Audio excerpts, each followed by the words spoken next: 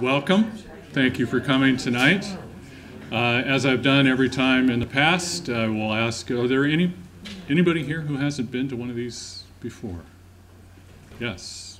You haven't been to one before? No? Everyone's been here? Yes? Okay. So we do have one new person tonight. So,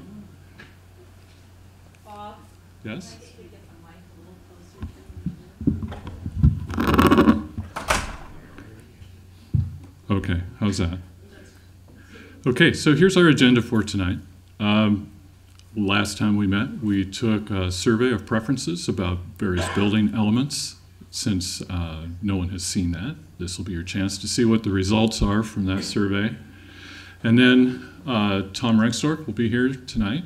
He's going to deliver some terrific ideas for various components of the landscape design. And there'll be another follow-on survey uh, at the end of that for you guys to express your preferences about the various design options that he's going to be showing.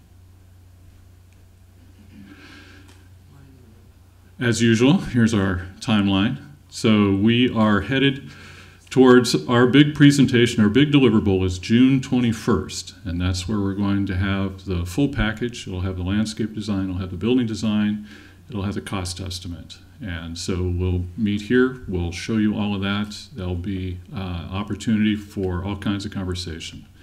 Uh, yes, Mike. Linda, Yes, sir. could you explain why it's the twenty-first and not the twentieth after I told everybody at the board meeting that it was gonna be the twentieth? Um, Speak in the mic. okay. We, No, this is not a, a- a- I just wanna make sure people understand what the date is. Okay, I apologize for that, that it didn't get explained fully. The 20th, the museum was not available and we were missing some key people. We looked at dates around the 20th and we had available the 21st and we were able to get this room. So we went ahead and nailed down the 21st rather than the 20th. That, that date should be firm at this point. It should not move again. Does that help? Thank you, yes. Okay, so on the 21st. Uh, Previous to that, on the 8th, we will be with the renovation committee to preview uh, the design and the materials that we'll be showing. Those, those meetings have actually been really helpful for us to uh, hone in the message, uh, test out the options, make sure that uh, what we're saying uh, is concise and is in a package that people are ready to hear. And then there it is again, June 21st. That'll be the big meeting where we show the final design with the cost estimate. So right now, we are assembling uh, the information from the last meeting, the preferences, into a package that we're giving to the general contractor and working out the details. And then they're going to spend the next couple weeks putting together pricing on the various materials and estimating all the various parts and pieces in the project. Uh, here they are. We should probably make t-shirts with this. Here's our project goals. Always the same, stabilize the buildings and the structures, eliminate safety issues, reduce ongoing maintenance costs, and improve the aesthetics and marketability of the project. All right, Kyle, you ready? Yeah. Okay. Here's your tool. All right. For anyone who doesn't know doesn't know who I am, uh, my name's Kyle Coots. I'm a designer over at Coates Design. Um, I'm the doer of the team in a way. Uh, Bob and Matthew are the brains, and they tell me how to do everything. And you know, so I, I produce all this stuff, and I help Matthew fix computers when it doesn't work right. So that, that's me. Um, so if y'all recall, last time we presented three design options of materials, three options of unit deck handrails, as well as uh, let's see what else did we do. Uh, doors on the decks, um, and then some overall just overall design issues and concepts. So we'll show you the results of those. We had 46 units, 46 units um, respond to the survey, so we had a pretty good turnout. Uh, the first question we asked you was, which option represents your favorite combination of materials? Um, if you recall, option one was a wood look fiber cement with um, a through color fiber cement panel, sort of a gray, dark gray, as well as some corrugated aluminum as an accent to match these stair towers. We did get a lot of feedback regarding the corrugated aluminum, so we're sort of playing with that, adjusting how much of that will be on there. Um, we know it was an issue for a lot of people for denting reasons, durability, and heat as well. Um, but as you can see, option one had almost 50% of the respondents say we want this one. So we are moving forward with the wood look fiber cement, uh, the dark gray panel with some corrugated aluminum in there as an accent to tie in with the stair towers. And just to remind you kind of what that looks like, you see here we have the wood look fiber cement, we have the through color fiber cement panel, and then we have the corrugated aluminum here, which is actually going away in most places, uh, but we will keep it on the uh, chimneys. And we asked you what your favorite unit deck door layout was. Again, option one takes the takes the cake here pretty heavily, which was a three-panel slider um, for pretty obvious reasons. You're not taking up any room with swinging doors. Um, it's most glass, lots of operability. Uh, we also offered you a double French door with a window and um, a single door with a large window area as well. And again, chose the three panel slider. We then asked you what your favorite unit deck handrails would be. The first option was these are all glass as the main panel. The first option had a wood top and a second top rail with a little gap in between, just a little bit of level detail. Um, option two was just a very simple handrail, had a large piece of glass with a simple picture frame of the balusters and top rail. And then option three was a topless uh, glass handrail, which is technically the right term for it, but um, and as you can see, option option three with the the uh, top railless maybe is a more appropriate way to say it. Handrail um, was preferred by most of the homeowners. As you can see an example here, what we showed at the presentation, an, an example of what that could look like. They, there's a billion and a half different ways of doing this. Um, this does fit our, our, our budget that we presented originally. So. Which option represents your most favorite choice overall? Option one. So we had asked, we had some questions as to why we are asking this question to the next, which is uh, which is your least favorite, and these are more of a check. So if if everyone had chosen option three for this for some reason, we would have to ask why. Why why? What is the discrepancy in that? But this reinforces that option one materials want to be chosen um, over option two and three, and option three overall was the least favorite. So by a large margin, and that was, if you recall. Um, this aluminum panel had, had some very bright colors. We took a chance, and you all prefer the, the wood look, and we like the wood look too. So we're happy. I hope you're happy too. any, any questions? Yes, Mike. Is there a structural reason why there are three panel sliding doors instead of two? So uh, this was a point brought up last time. And to repeat the question, is there a structural reason for doing a three-panel slider over a two-panel slider? Um, cost is one thing. One is weight. A two-panel slider over a 12-foot span, I believe some of you have 12-foot doors, are very heavy. So a three-panel will be easier to move. Is that's really the, the, the big one. And they don't make a two-panel to that size to meet our performance criteria, which is uh, wind-driven rain issues. Really, the seals aren't aren't as good. What kind of one you're showing is for the largest opening? Yes. So for this, yes, for a smaller opening, um, I believe it's less than nine feet. You'll have a two-panel slider. So and uh, yeah. So. Anyone else?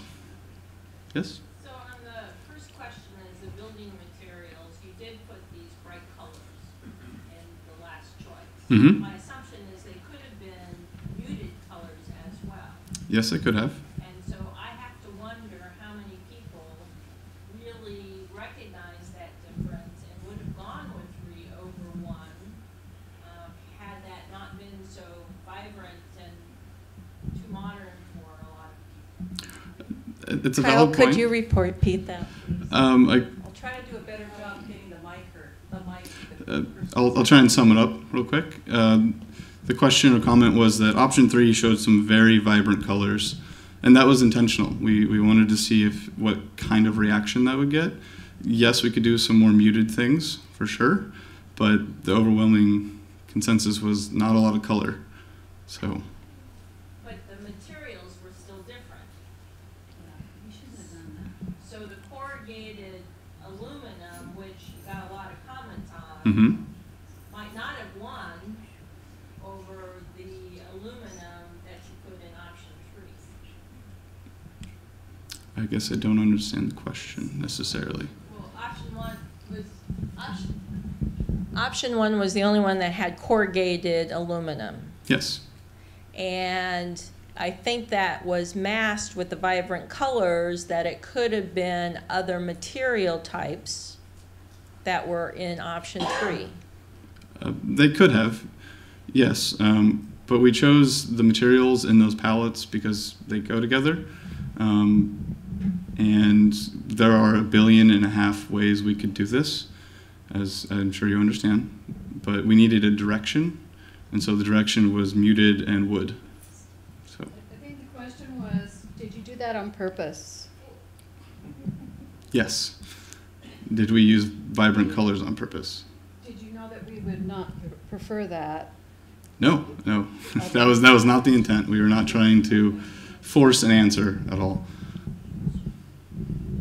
We, we like all three of these options equally well. They're just very different. I guess where I'm going is, a lot of people do not like the industrial look of corrugated aluminum. hmm And that, in our final choice, actually could be one of those other materials that were more muted that were available in option three. That's a question, not a statement. It, Can't it- they be? Yes, it could. It could be. It very well could be. Um, but again, that's not direction. We didn't hear a lot of that in any of the comments. For a comprehension check, can I try to ask the same question, see if if it's being done? So are you saying the stuff in three, the examples in three that were shown to us were in some vibrant colors, we could, could turn, turn them off, right? Could, could be turning it off? Yes, the bright green could have been a very Whereas muted if- green, If or three would have had more muted colors, we might have chosen that material? That's it? So, so, it sounded like when you talked about the corrugated aluminum in the first place, it didn't go over too well anyway. And you Correct. kinda- You kind of forced it into option one. So why aren't we re-looking, why don't we re-look this other material in a muted color? Am I getting it? I got it. Oh my gosh. Yeah, so we, we are we're not taking that that option completely literally. So, s there's definitely going to be some time for conversation about that. Will you just describe the materials in building one versus the mate, I mean, in option one Mhm. versus the materials in option three? Yes. So option one was a wood look fiber cement panel. It's pre-finished, has a, wood texture embossed on it. So it does look rather convincing from far away. You get up closer to it and you knock on it, you're like, okay, maybe what is this? But from a 10 feet and further, it looks like wood.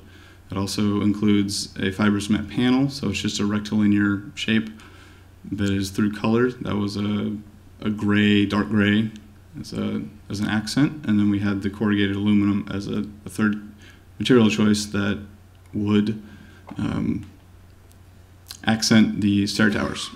Okay, So the question really is, in option three, what was the material that was painted a bright color? It was an aluminum panel. Okay, so people, I think, are wondering if you had that same aluminum panel, but painted in a lighter color, could you do that rather than the corrugated in option one? Yes, I believe we can do that. You guys are saying all three of us are There were a lot of people who have concerns about the fact that if we don't do something on the buildings to tie them in with the towers, hmm and which you were trying to do with the corrugated, and folks didn't like the idea of corrugated on the decks because of denting. Right. But putting the corrugated on the chimneys begins to tie them together. Yes. And if you put the corrugated, could find some other unobtrusive place to put it, uh, maybe you could achieve some of that versus going to a flat aluminum panel. Because if you do that, we still have the issue, you've got an apple and an orange. Right. So we are, we are not intending to use uh, a metal product in on the unit decks where a lot of the issue was of people people were worried about denting and um, I believe it and getting hot and just being kind of a nuisance. And we don't want to put too much of the corrugated metal in the building. Um, the way the massing works, uh, we sort of divide it by um, several units that are in a block or not, and so the material follows that. So we have a, a sort of a rule of thumb how the material gets distributed, and when we go through that process, it could end up with way too much corrugated aluminum, which is the look that from the beginning no one has said they want. The corrugated aluminum was simply a tie-in with the stair towers, and yes, we could absolutely use something different. Um, and uh, of a color if we, if we wanted to, but we are not actually going, at this point, we're not proposing that we do that. Um, it would be a, actually have more wood look on it and use that dark gray panel as more of an accent in, in that direction. Did I answer the question? Or whatever all that was. Okay. Yes. I happen to vote for number one. Mhm. I brought up that I did not like the corrugated, could have that portion be with another material, but I also brought up, since it was trying to, to, um, tie into the stair tower, as, if I recall right, when we had our original three options, and there, uh, there of, of a variety of things, there was, uh, the choice to put stone at the bottom of the stair tower was tied to stone on the chimneys Yes, right? that was And that was a big three. number, and people didn't like that. And so I put in my comments, can we revisit something else on the bottom of the stair towers than the copper stuff that we have right now? That would be, I mean, I just have this fear we're gonna spend all this money and everything's gonna be great, and those god-awful copper bottoms of the stair towers are gonna stick out like a sore thumb. Yes. Can we re- revisit just covering that portion? We completely agree with you. We hate the copper, frankly. Um, but yes, we are trying to find ways to offset costs somewhere else that we could revisit that and replace it with something else. We're currently envisioning it would be the dark fiber cement panel to sort of give it a nice heavy base and uh, but still tie it into the building. So we are intending at this point to get rid of all of the copper colored metal, if that's what we're going to call it. Yes. Um, my question was, uh, I brought it up at the end of the last meeting, was we haven't talked about the windows at all, and will we be doing that, you know? Deciding on how many open, what the sizes are, because that's a real important part to me for the view, you know? Yeah, um, Bob, do you want to answer that question?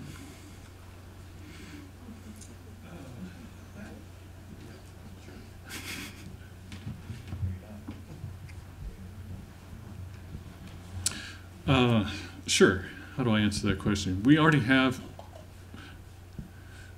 we solicited comments and preferences for sort of the, a middle-priced option. Not very expensive, not, you know, teak and not real cheap, the least expensive, but something in the middle. So in that range of products, we have selected some that have the European tilt turn. They get the maximum amount of glazing they get the maximum amount of vent, and it accomplishes, we believe, the best of all possible worlds, and that's what's in our pricing model at this point.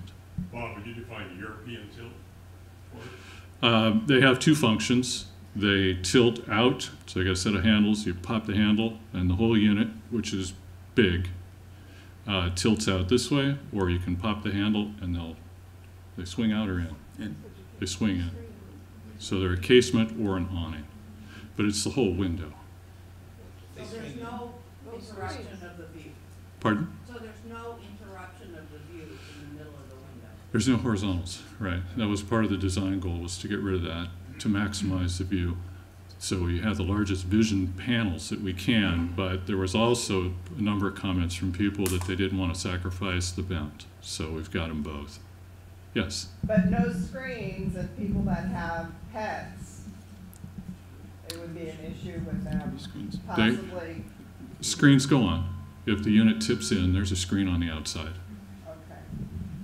It also allows you to clean the window. What's the max size on those? Oh, do you know how big they get? 55 by 77. 50, 55 by 77, so five foot by six foot? Bob, you need to get closer. Five foot by six foot? They're big. That is a really big piece of glass. Yes. So, does that answer the question about the windows? I'd like to see it before, I I thought we were vote on it like we did the doors and the siding and everything else, but we're not gonna do that. Um, at this point, Not, not the, s- the quality of them, the structure of them, you know, the size and how many panels and, and all that stuff. I didn't mean to say vote on the quality of them or the cost of them, but the structure of them, and what they're gonna be shaped like.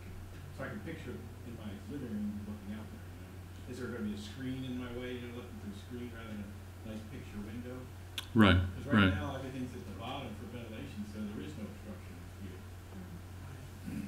Well, at this point, what we're moving forward with is to get a price so that there will be a design, there will be a cost, you'll be able to see it, and you'll be able to vote on it. Now, everything, and I don't mean to like put it all up in the wind again, but obviously, before the thing is built, there is still an opportunity to make some changes to it. But at this point, it's a matter of having a coherent design, something that looks good, works together, that meets all the performance criteria, uh, and a cost that goes with it, so that we have a complete package for people to look at. I have two questions, because I have the mic. The first one is regarding the railings. If option three, that's glass, how does that clean? Does it get cloudy? Is it up to the individuals to keep it? And if they don't keep it up, is it present as something unattractive? Uh, the only time I've seen that it becomes uh, an issue is on seafront homes, waterfront homes that haven't maintained it for years. But in just the normal maintenance of your window glass, you would maintain the glass on the rails. I think it's more the exterior I'm thinking about, because you can maintain the interior part of it, but then, I'm just curious to know what happens to glass if people don't clean it off from the perspective of outside looking in. Does it eventually get cloudy and what's, what's the look of long-standing glass that's not cleaned that's sitting at waterfront? I don't know why it wouldn't get cleaned. Well, Because some people wouldn't choose not to clean it. Well, that goes along with, I suppose, everything. I would be, un- I would be personally, um, uncomfortable leaning over that window, that, that glass without a rail. Um, so, um, I'm not particularly in favor of it, but, um, I think that, uh, we can help each other out and keep it clean. Why can't they just be clean when the windows are clean? It's an additional cost. We already have owners that don't want their windows clean because of the cost. So if you add the, if you add the decks, that's another cost. So I'm going to ask my second question. Um, I felt implicit in the questionnaire was that option three moves us forward to something collectively more expensive, and I think maybe I was wrong. So option one, two, and three are presented in terms of cost to us pretty equal. Is that correct? That's correct. Okay, thank you. Yeah.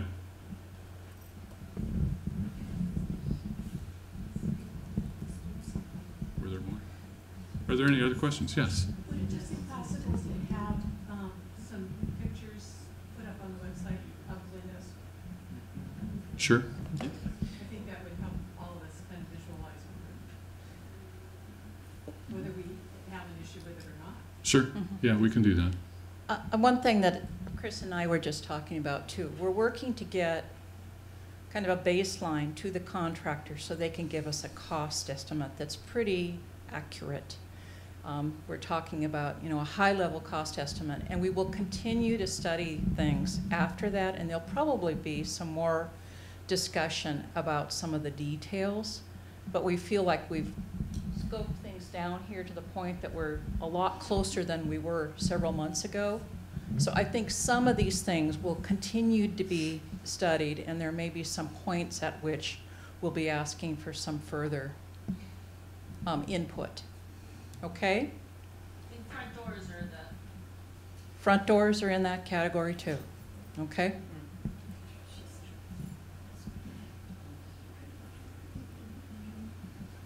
Shall we Okay. move on then? Let's move on then. Okay. Tom, are you ready?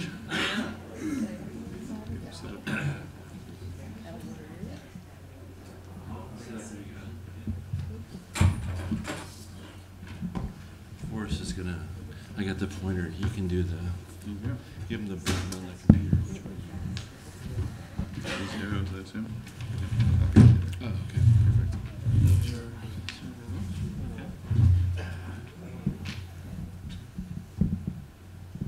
Are we on?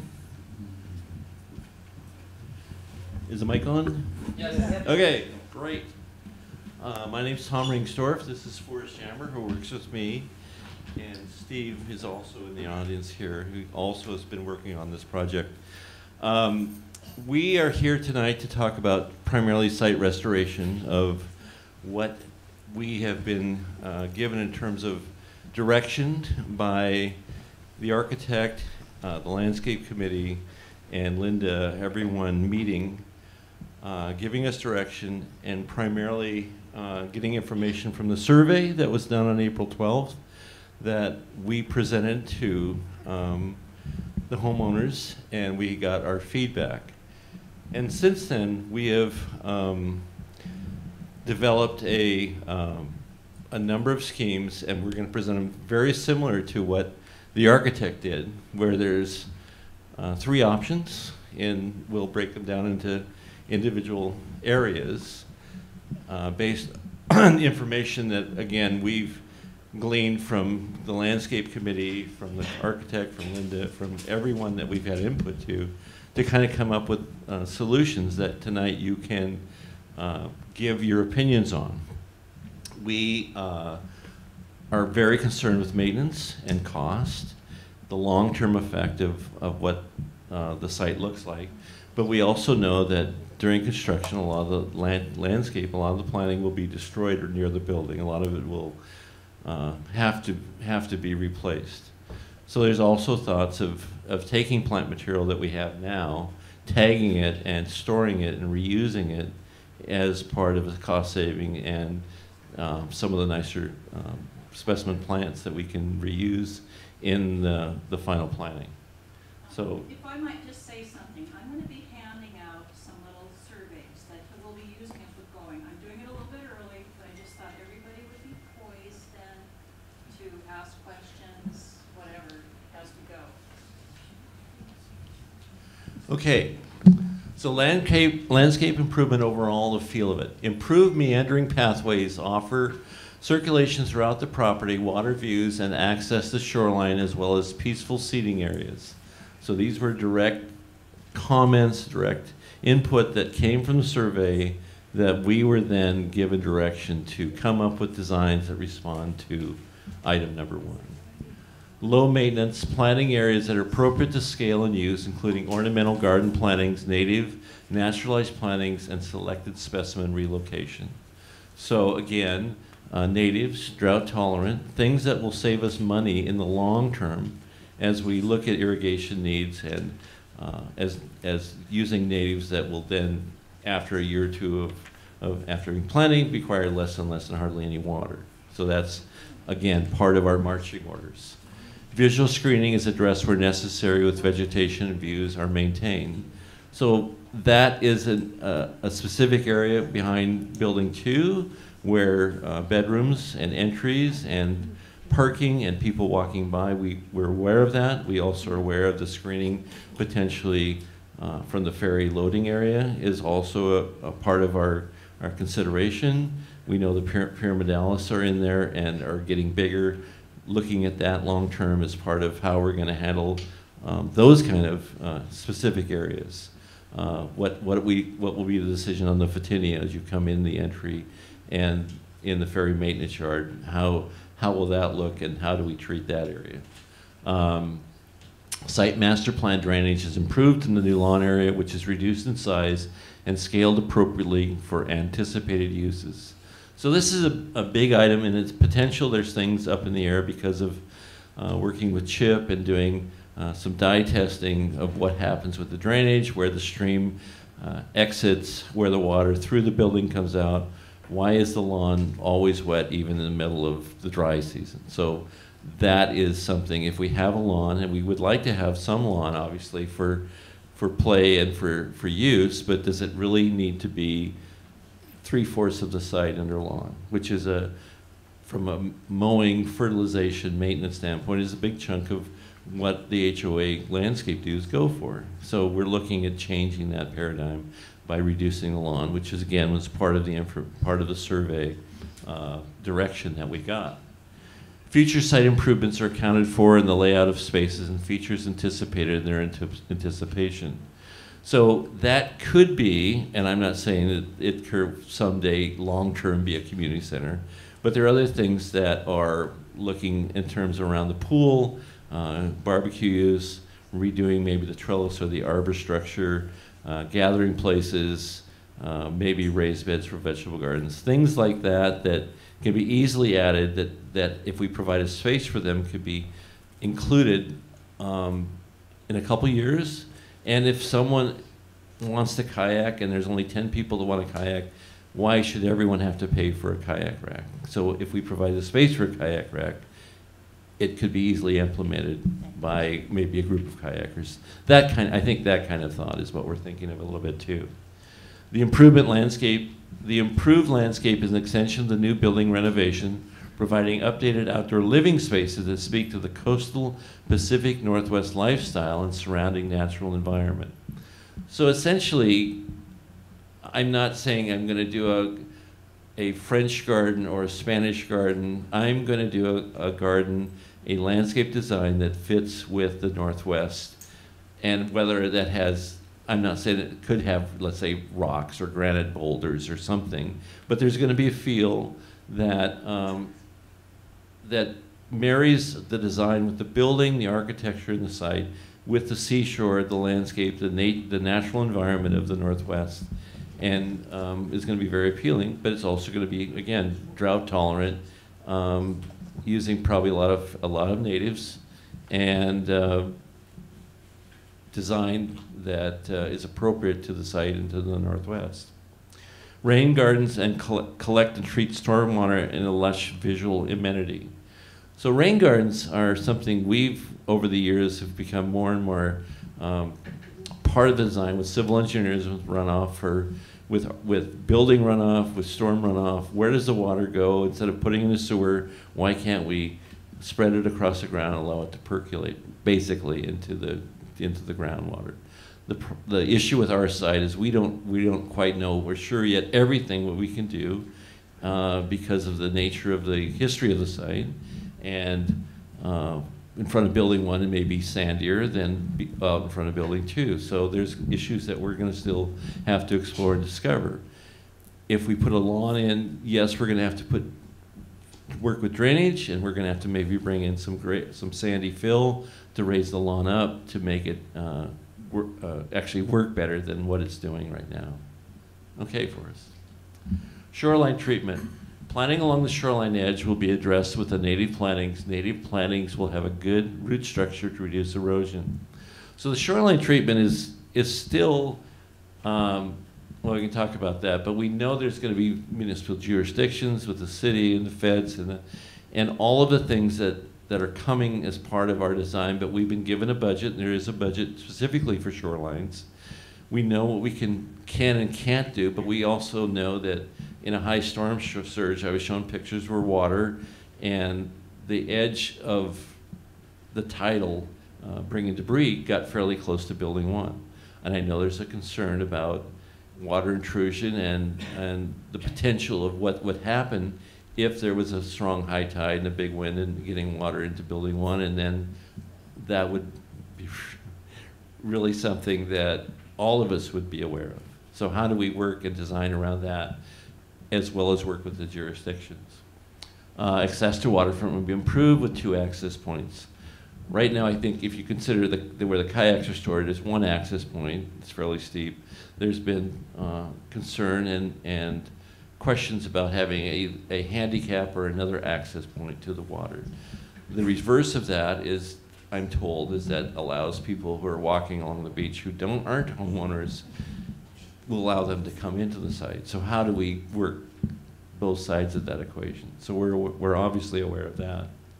Additional shoreline improvements, if needed, require coordination with municipal jur jurisdictions on different timeline. So as Linda has preached to me many, many times, this is going to be a different animal in terms of how we're going to get this process, get it done. And it's not going to be in the same timeline as what we know we can do around the buildings. So that's, um, those are, these are our marching orders. These are, this is the direction we've been giving and given, and we are um, excited about moving forward and shar sharing with you uh, the site restoration of aspect of when it's when the site's disturbed and all the things are happening, we put it back to something that was is going to be matching the quality of the, the building and improving um, our, our life, our, our just our outdoor life of, of being um, at home or in on this beautiful site, this beautiful piece of property. Okay, Forrest. Landscape dis discussion. So we have, I will go over the site plan, the overview. We have enlargements of the entry sequence, which is as you drive into the site, we've been asked to look at how do we get more of a feeling of arrival and designating our home, our, our two buildings, separate from the shipyard. Not that it, or not that that's a big issue, but it's still an issue that signage, uh, where do we go, directions to building one or two, and what is what is what does Eagle Harbor say in terms of uh, an identity? And we will show you images of that. Uh, enlargement of building two entries. We know there's going to be uh, waterproofing. Uh, there's issues with the with the garage. We know that that as a um, as a design that there has to be specific design elements of how we're going to treat uh, the parking area and the area on top of the roof, on top of the garage, uh, and we we do a lot of rooftop design. Um, we're familiar with that. This is this is a little different because normally those are all new construction projects. This is a an existing project that um, will be treated. We'll have to to look at it a little bit differently. Uh, enlarged central lawn area, we'll, we'll give you three options for that to, to uh, consider. Enlargement of the shoreline area and how we are considering removing lawn, which basically cuts down your maintenance, the cost of your maintenance, uh, seeing it as a community area and allowing people to walk or providing pathways and sitting areas for um, areas along the shoreline. And then again, um, we have four options for the pool area. So let's, let's start with the overview. So this is the, this is the base existing conditions between building one, building two. Uh, the trees uh, that you see along the top here are, whoops. All right. The trees that you see here are, we've uh, surveyed them, and that's pretty much the larger trees, that the pine trees, sycamore, that are there now, as well as the, the trees here in the ravine. Uh, the planting green, uh, obviously the light green is the lawn areas, and the darker green are the uh, shrub massing. So um, this will be our base, and then we will break off sub areas that we will then give you the options. So um, let's, let's move forward for us. So now we, the entry or arrival sequence, um, we've been asked to look at um, signage and how does, how does this drive and this project have a feeling of arrival than just parking lot and a sidewalk and, and, oh, who are these two buildings and what's the name of them and how do we identify our home? So, uh, next slide. So we have looked at uh, some options for a, and this was told to me like from the early on that we, we needed a, an entry sign or some sort of entry monument statement to, for a sense of arrival uh, to the community. So we're proposing a sign, uh, graphic, uh, some sort of structure as you come down the hill. And then what we're showing here as column ends that there would be pillars on the on the uh, main entry drives you come in to the uh, to the uh, parking lot here as well as here. Not so much here as much because there's a lot of line space, but because the traffic flow is definitely coming that way. And those look like option one. We are saying more right now that we're picking shapes and we could say that what we like to do when we work with architects is that we like to match the building materials of our signage and our monuments of what's on the building. So if you had stone on the building or stone bases on the chimneys, we would like to see stone. If we're picking option one and there's wood or, or fiber cement uh, panels or something that there's more wood, then we would like to use similar materials on our, our, our signage. What this material is you know, we haven't decided, but we, we're trying to match the building. So it's, it's, consider that in the next three schemes, and more or less what the shapes are. We could do 23 different monument shapes all day. There's so many options we have, but we've come up with three, and I want you to um, just consider um, more the shapes because we're, we're always probably going to stay matching what the building is. Uh, next, next scheme. So this is, could be more of the stone or um, a more natural material. If we, if we ended up with any kind of stone or anything like that, that would be more of this material with then maybe aluminum or a cleaner, more architectural type background for the, for the letters to be mounted on. Uh, again, we're early on, and I'm not saying how I'm designing or how I'm, if this is pin letters or exactly what it is, but I want I want your, your opinion on which sign or which feeling of a sign do I really like before I say it's exactly that material and that it's five foot six inches tall and it's 22 feet long. Um, and uh, next sign. This one is, I could say this is again back to um, the wood form. When I first saw it, I thought it could be board form concrete, but we don't have any board form. Well, we could have this as board form concrete, but we don't have any board form concrete in in our architecture. So again, uh, it's more of the look, more of the wood paneling feel, but they would be in bigger panels. And again, this this could be aluminum, or uh, again, architecturally a smooth surface for us to mount our signs on. So we're, we do not want to get too far away from the architecture, but in some ways, you you can do that a little bit with the monument sign. But I will. I want the building. I want the uh, the monument sign and the pillars to tie together with the buildings. Yes. So I'll ask and you can repeat. Are are you are these options all about the same price?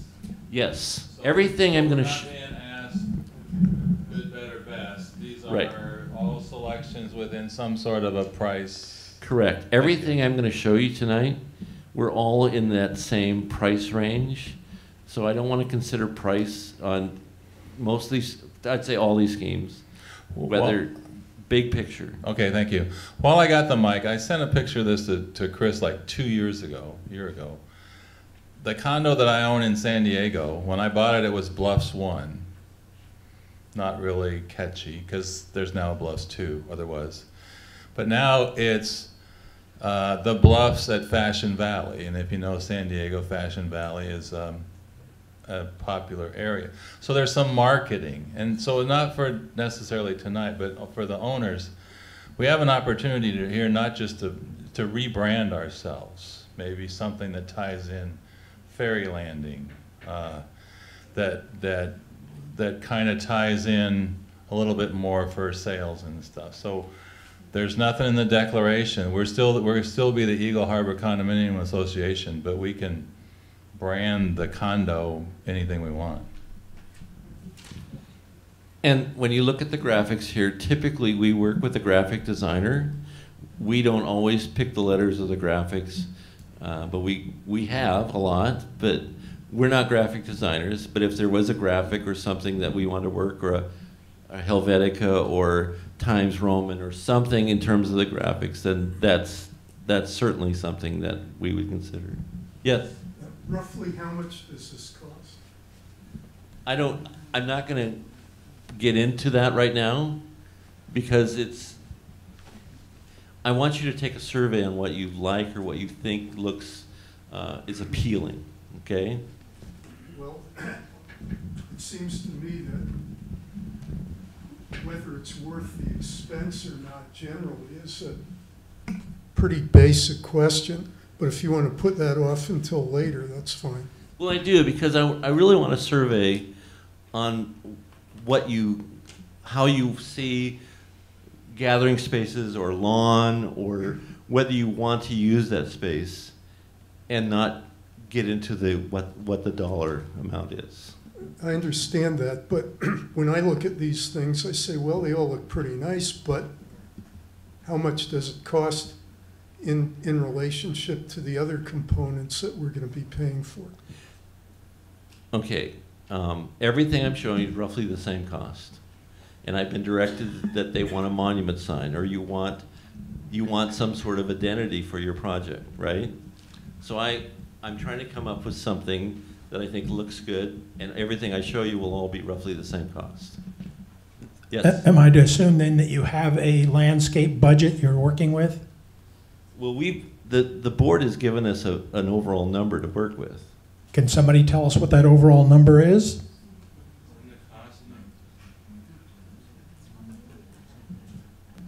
The number that was carried in the earlier estimate, I believe, was 680,000. Correct. That's what I was told. And I'm sure that will be subject to further discussion, okay? But that was in the bottom line for the estimate that we provided earlier. And Linda, I think there's another three fifty for shoreline, is that right? There was another 300 for shoreline. So we're really talking about a million dollars. Yes, yes. Okay, Forrest. I have a, I have a question first. Yeah. Uh, the signs are, uh, all, all three of the signs, Eagle Harbor condominium, are, are very basic. The lettering, the picture, whatever it is. Is there any way or reason that you, you couldn't, uh, put some type of an art, uh, form on that sign? Like maybe a steel cutout shape of a steelhead or a salmon or something? Or an eagle, yeah. Um, we haven't had a survey. I don't. You're asking now pretty specific questions about. I'm tr- I'm trying to get. No, I I would say not. Uh, that it's not a problem, but it's that your opinion of wanting an eagle and someone may want a salmon and someone may want it's it opens up a huge can of worms in terms of graphic design. So as designers, a lot of times we have to come forward with a start with what we think is a base, and then obviously we'll get feedback. But um, that's a can of worms that I, I can't uh, really jump. I'm not. I don't think I want to jump into the detail of the And sign right I- now. I was going to suggest too, Audrey reminded me that you can make some of those comments on the survey. And you've got the little form in your lap. We're not there yet, but we also are going to put it online and we'll have some paper copies in the lobby as we've done before. So you have the survey now, and this will be on survey online too. But here are the three options um, for the sign, um, and we can go through them later, or you can look at and make a comment now and and, write. So that's this is for the sign, okay? All right, Forrest. So now we have the uh, the building entry, and we're focusing primarily on building two because of the being on a rooftop, and we know that all this, so much of the area around Building Two and so much of the areas next to buildings in general will be, will be uh, destroyed or, or have to be redone, and this specifically will have to be redone. So we're looking at this area, and we have also known that there's a number of comments for people's privacy because of the relationship of their doors to their bedrooms. So, um, first slide for us. So this is a, uh, a built-up planter. Planters with, and then I have a, a section of it too. Gravel around the edges of the planting area, stationary planters with varying heights to complement building colors and architectural style in a more formal uh, planter arrangement. Um, so the, the light gravel you see is, is gravel. It uh, could be pea gravel or stone. And then there are built-up planters um, around that. So we know we're building on concrete. We know we have to deal with drainage. We know we have to put irrigation in. Uh, but we're, this is how we're starting for option one. Um, Forrest, go ahead, number two. So that's, this is a, a section of what that would look like. And it won't exact, we're not saying exactly how high the planter is, but we know we have to have a certain amount of soil depth, and we have to have drainage, and we have to have irrigation, and there might be lighting in here. Uh, what the material is exactly on the planters, we haven't decided yet, but it's more, I would like you to, to look more at the shape and the feel of, of the design versus having us tell you that's concrete or Corten metal or CMU block or uh, stacked piece of, uh, you know, individual stone, uh, concrete. Okay, next. This one is a alternative where we're providing more of a actual outdoor living space where you could actually have furniture and use um, space out in front of your uh, home with planting and paving. And these are uh, pavers um, set on pedestals, like you see on a number of rooftops in Seattle. And it's a very common system that we use in Seattle. So we have stationary planters with various heights to complement the building. And then we have uh, terrace or patio areas. And again, this is another option that the people in building two may or may not like at all, but it's just, again, it's an option that we want to explore. And that looks like, again, the pavers with pots, stationary planters against the face of the building. So it's more of a, a usable hardscape area with assumed furniture than the other scheme, which is more planting. Okay, and the last scheme is maybe more of a combination of planting with gravel. And again, we could do a number of schemes that we're trying to get either your comments or vote or even write down uh, suggestions of what you would see here. Uh, with gravel edges around the planting, stationary planters with varying heights that complement the building, colors and architectural style, and uniform planter arrangement. So this is more of a, a design style and not the outdoor terrace type, type space. And that would look again, again like this.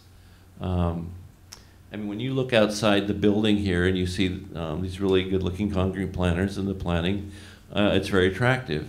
Uh, and in a lot of areas, we're on, not here, but in a lot of areas, uh, you wouldn't know you're on top of a, a parking garage.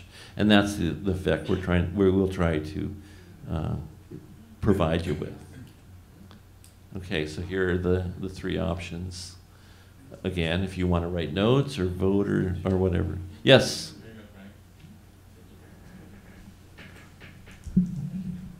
Uh, Just want to understand, the, uh, right now, there are uh, planters that are four feet or five feet deep, I believe, in, in front of each of these units. So is that being filled in? Is that the idea, or am I missing it? When you say four or five feet deep, you're saying there's four or five feet of soil? Yeah, I believe so. Um, Not that much? Oh, is it just a couple of feet? Okay. All right, so are are you planning to fill that in? Is that what that? No, well, we haven't gotten to the detail of that. If it's too deep and we, and it's a soil or weight issue, we'll put styrofoam in, okay? Like we did at Harbor Square. But two feet is sort of a minimum if we want to have a decent sized amount of plant or have, uh, to work with. Well, I, I- I thought like in the case of number two, it looks like those planters are sitting on top of the, but that's not the case. The planters go down. Correct. I see. Right. Right. understand. Thank you.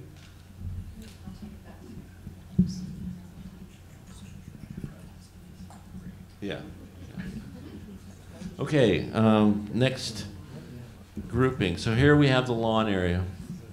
And we have obviously lawn in front of the building one, and then we have a large lawn area in front of building two. Uh, the survey almost unanimously wanted to reduce the size of the lawn. Uh, not everybody, but it, a large majority, because of the maintenance and the amount of lawn uh, that is being maintained, the cost of that, as well as the poor drainage that is uh, year-round. Um, so we have to look at how will we will we construct a lawn that's usable, um, but make a lawn area that uh, I think people agree on is this is about whatever is the right size. And again, if you have comments about you want more lawn or less lawn or, or we missed the mark on lawn, then we need to hear that. Okay, so option one has um, brought, we're still keeping the lawn in all the schemes because we feel lawn is usable from playing catch with your grandkids to uh, just an area to walk around and have open uh, visual connections to spaces. So this has um, gravel seating areas on the perimeter. Let's just say for these a lot of these schemes, the main walkway would be concrete. Right top of my head, I'll say concrete. But there'll be seating areas um, here that, um, pardon me, seating areas that will be potential, because again, in the survey that and the landscape committee giving us uh, input, that that would be great to have places to walk to. So these could have uh, maybe stone boulders, uh, furniture, benches, something that's very attractive that fits in with the natural landscape, but it's an area uh, for sitting and gathering. Uh, and there'd be a number of places around uh, the walk that come out from building two, that come up from the parking in both places that then head out to the to the pool and out to the beach.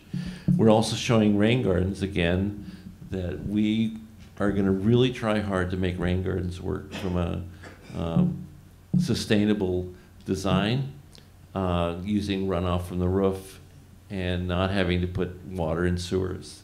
That's our goal, and, and we think rain gardens would be very attractive, and uh, how we plant them will fit in uh, overall with our land, with our overall landscape scheme. This is uh, option two. Uh, it's more of a a little more edgy of bringing kind of an artistic um, flavor of panels, gravel panels, and making what does the lawn look like throughout the year uh, as a kind of more of an artistic element by running uh, diagonal lines through the lawn. Um, the sitting areas here would be connected with maybe uh, a paving stone or something where you'd have a sub area to sit here that you then walk to another area here. Um, we're not showing the pyramidalis or how the planning is, but we know we'll, we're going to have to resolve that area. We're, we're looking at bigger pictures tonight of overall um, site design shapes, connections, um, where the paths go, and, and how the, the a pedestrian would get from the parking lot to the pool. So again, the gathering spaces was very strongly recommended by the survey as well as by the landscape committee and the direction we got from the uh, from uh, from the architect. Go ahead. This one has a little bit different shape on the lawn because we are uh, gathering with, with more of a circle with a planter coming out of the garage and developing these nodes with our paving to another node that is then, again, walking around the lawn and then having two gravel seating areas off that might be, could be a little bit different planning if somebody would consider that maybe they wanted to look at um, more color or something that's a little more maintenance intensive, or they'd be willing to take care of this sub area um, in in in uh, in a in a. Uh, I'm going to go out and garden here for you know every weekend, and this would be my, kind of my space to garden. Again, that's an idea, um, but it gives us space to do that. And the rain gardens then are both here with a connection pipe and a, a bridge. Uh, it's kind of a faux bridge, but it's really gives the intention that the water is, is connected, so out to the uh, path to the beach and a sitting area here. Okay, so those are the three areas. All of them um, are kind of roughly the same size for the lawn area, but the gathering spaces are, are all different. Okay. Uh, Ye- Yes. In relationship to the current lawn out there, I don't need that. Uh, How big is this lawn compared to the one we have now? Um, let's go back for us to the, to the first overall site, or there. So if you see, you are probably in that space now with the new lawn. So you've, you've probably shaved it by maybe twenty-five percent. I don't know about fifty, but I'm just throwing, I'm just throwing that off that it's more of, I'm not gonna get into the whether it's fifty or twenty-five. It's, it's certainly smaller. Yes? I'm not clear on the drainage. There is an outflow that comes out on the beach. Is that coming from the groundwater or is that coming from the roof water? And so I'm not clear what gets tied into the sewer and how we divert what makes what's flowing onto the beach now either continue to flow or at least not back up in the swamp. So the uh, the drainage that comes down to the site, which a lot of this starts up on the entry drive coming in. There's a couple catch basins along that entry road that are part of this whole system. They are collecting water from the road and bringing it down, and where you were talking about, where it you know displaces out on the beach, that's where everything's coming in. We're also collecting water we discovered from the creek that's coming in that discharges into the vault that's just on the kind of the water side of building two and then runs its way down uh, and discharges out into the beach. Um, we've got several small drains on site, uh, small like yard drains. Those are also going into these catch basins, as well as some of the downspouts that we could find uh, were coming in and leading to these uh, various catch basins that are either in the drive aisle or they're you know situated in the lawn areas. Okay, but are you saying that the current catch basins are not sufficient? Will the rain garden help to disperse all the water more slowly so that that area of lawn by the pool is not a bog? Or Yes. is it, so the reason for rain gardens isn't simply to decrease what goes into the sewer system, it's to dry out the usable lawn? It's it's kind of a mix of things. You're you are trying to you know collect the water from these areas and allow it to infiltrate naturally. Uh, the soil makeup in that lawn area is got very heavy soils, so it infiltrates at a very slow rate, like fractional per hour. Um, when I was out there last week, I was digging digging test holes, and we had you know several inches of clay, and then when I would remove that component and pull it over, five minutes later, all the water would start running into there. But the soil underneath that piece that I lifted out was moist. In Some cases it was dry. So the water is not effectively infiltrating because of the soils in there. The water that's going through the catch basins and coming off of the, of the roofs and going in, that's being moved very efficiently. The surface water, the storm water, which is primarily what it is, is the stuff that's hang, hanging on the surface and is slowly migrating to the yard drains. But it's not infiltrating as fast as we would like it. That's why you really get that kind of boggy atmosphere out there. So does the rain garden solve that? The rain garden will, sef- will certainly help with that uh, to remove that water. But I, I think we, what we need to say and be real clear about, the intention here is to solve the boggy, soggy lawn areas so that that does not occur in the future. And we think, based on the analysis that we, investigation that was done last week, that we've got some ideas for doing that. And the rain gardens would help with that. And we also realize we may have to put in some uh, under drainage under the lawn as well as bring grade up and raise the area, uh, raise the lawn itself up. So there's, there's still exploration and, but we're starting to get a better handle on that. Anything else? Yes? Um, you, you comment about the general philosophy here of maintaining this large area of grass that we all look out into, uh, while maintaining the perimeter that none of us can see from our homes.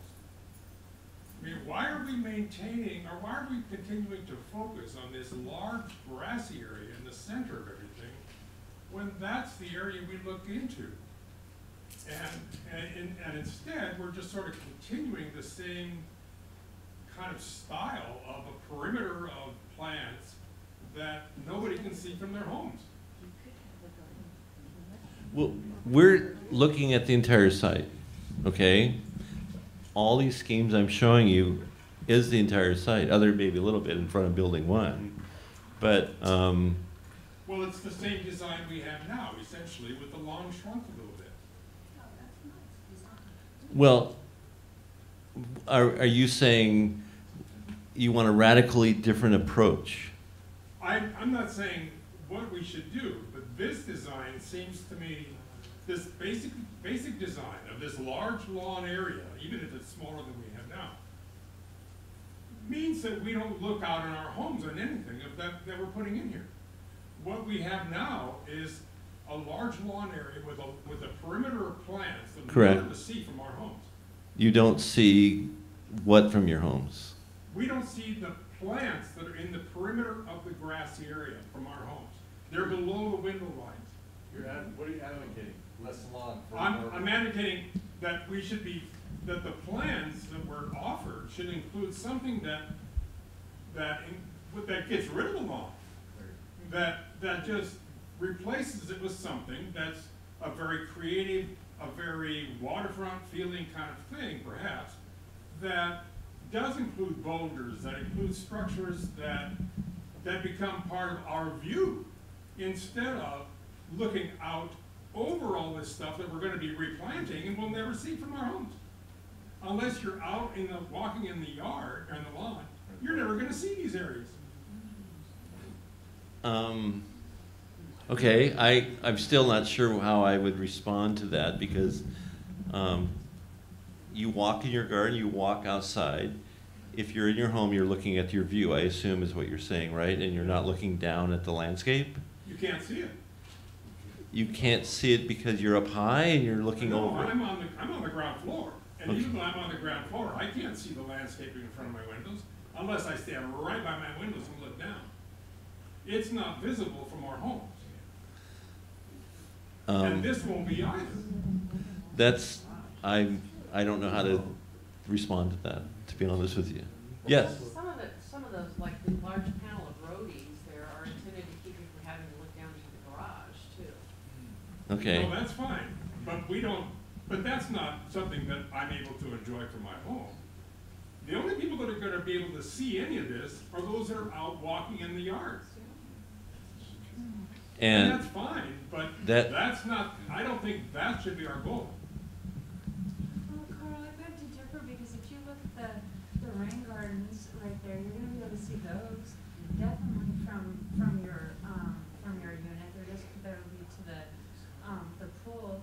If we go with something like on the, um, option two and option three, if you look at the designs to the far right, both of those would definitely be, um, uh, points of interest for you to be able to look at. I agree that there's some improvement because the perimeter is larger in these plans. But it's still, it seems to be, be wasting this space that we have in front of our eyes. And instead, just shrinking the amount of lawn that we have. It's a little less, but it isn't enhancing the view particularly. To just replace or to shrink the lawn, we're still stuck with a lawn view. Well, I, I think it's a question of, yes, shrinking lawn, but what you're saying, if somebody wants to go out and play croquet or badminton or have an open space to do that or catch, where would they do that at? In the park. In the park. Go up to the park. The new park. Yeah, we've got scads of really nice parks around us. Okay. Have Uh, you ever well, seen the, uh, all right. public houses- you know where we're at the Public House Restaurant? You know where the Yeah. Public House is? Yeah. Have you seen that condominium complex there? Yeah. I think he means something more like that, like with a gazebo in the middle and just gardens and walking paths, but no lawn at all. I don't know if you've seen that uh, complex there, but that's what I think he's envisioning. Me too, to tell you the truth.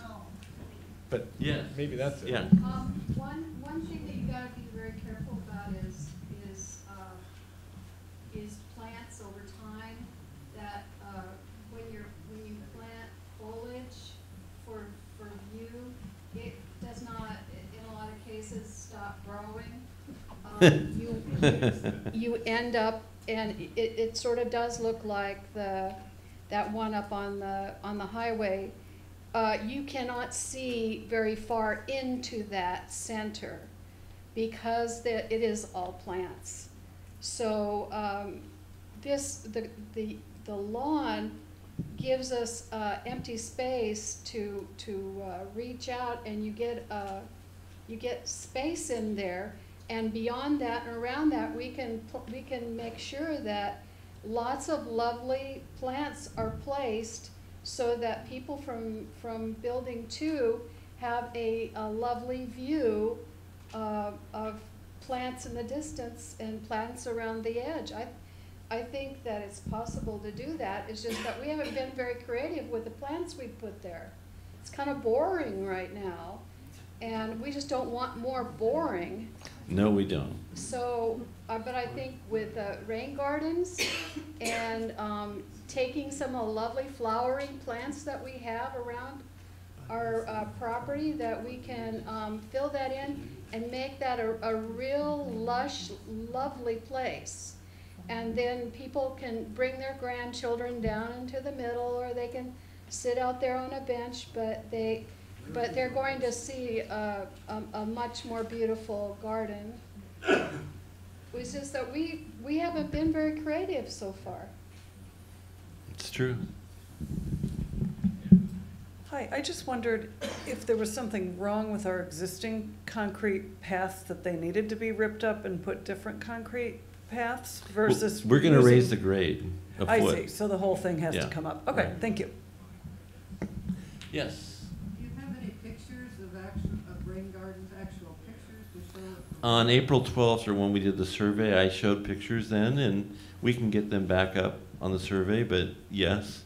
But back when we were presenting over at the senior center, we had, we showed pictures of a lot of that, those They, things. they are on the website too. If you go back into the folders, there's an April 12th folder, and in that presentation, they are there. Any more questions on lawn? What I would recommend too is that all these comments that we're hearing, that you incorporate them into the comments on this Yeah. card, or you go online and incorporate them in to the comment section there too. Do you have a question? Make one quick comment. I kind of like looking at the kids playing ball down there during the summer a little bit. All right. I don't mind people chasing their dog around and, and uh, playing with the dog.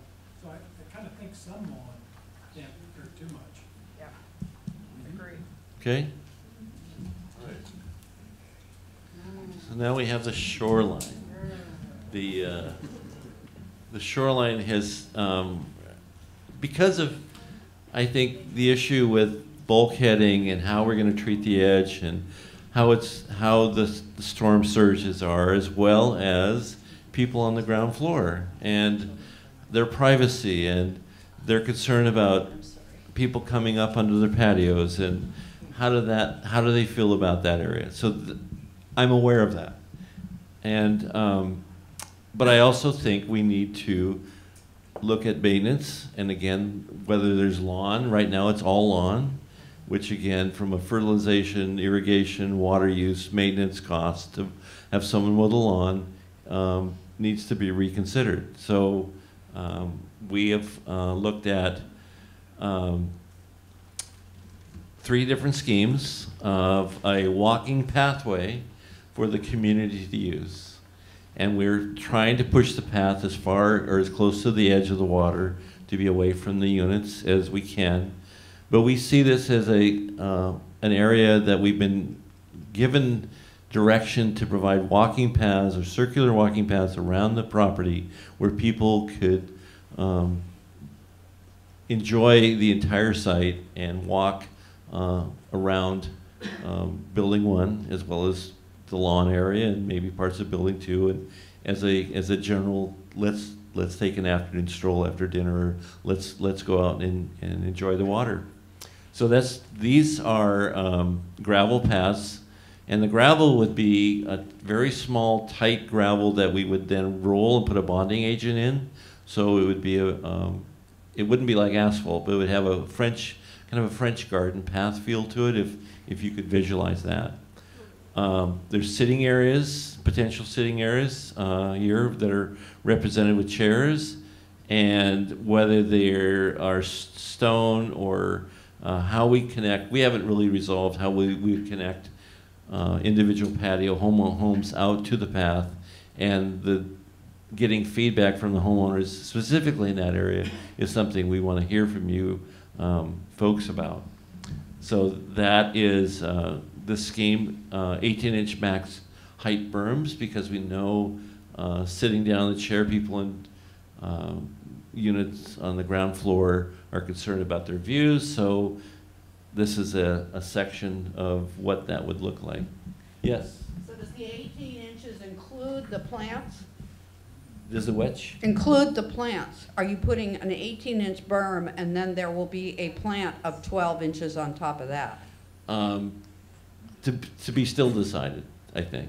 So it wouldn't, I, I'm just concerned for all my neighbors, they not lose their view. I know. So when I add 18 and 12, now I'm up to more than 18 inches.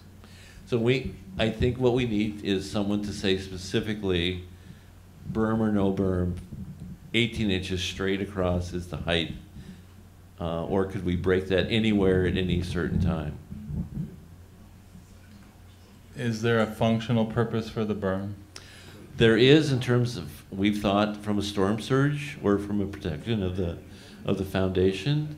If the water got high, the berms would push or help push uh, the water away. And I've thought more about also doing a design where there would be some sort of mini wall or something that, that would be uh, as part of the design that you would step over uh, that would protect again from uh, not a big story. It's not going to present something, but I haven't. I don't know the history the history of of what I've seen debris marks from how far the water got a year or two ago up near the building, and maybe that we could help protect for that kind of access. So yes, there's something there for that. Well, you have drainage of the water toward the unit. I don't think that is, you have to solve that problem. Usually you need two percent. You have to, yes, because if you have storm of water, you will get and this lady is sitting, you will have little water standing there.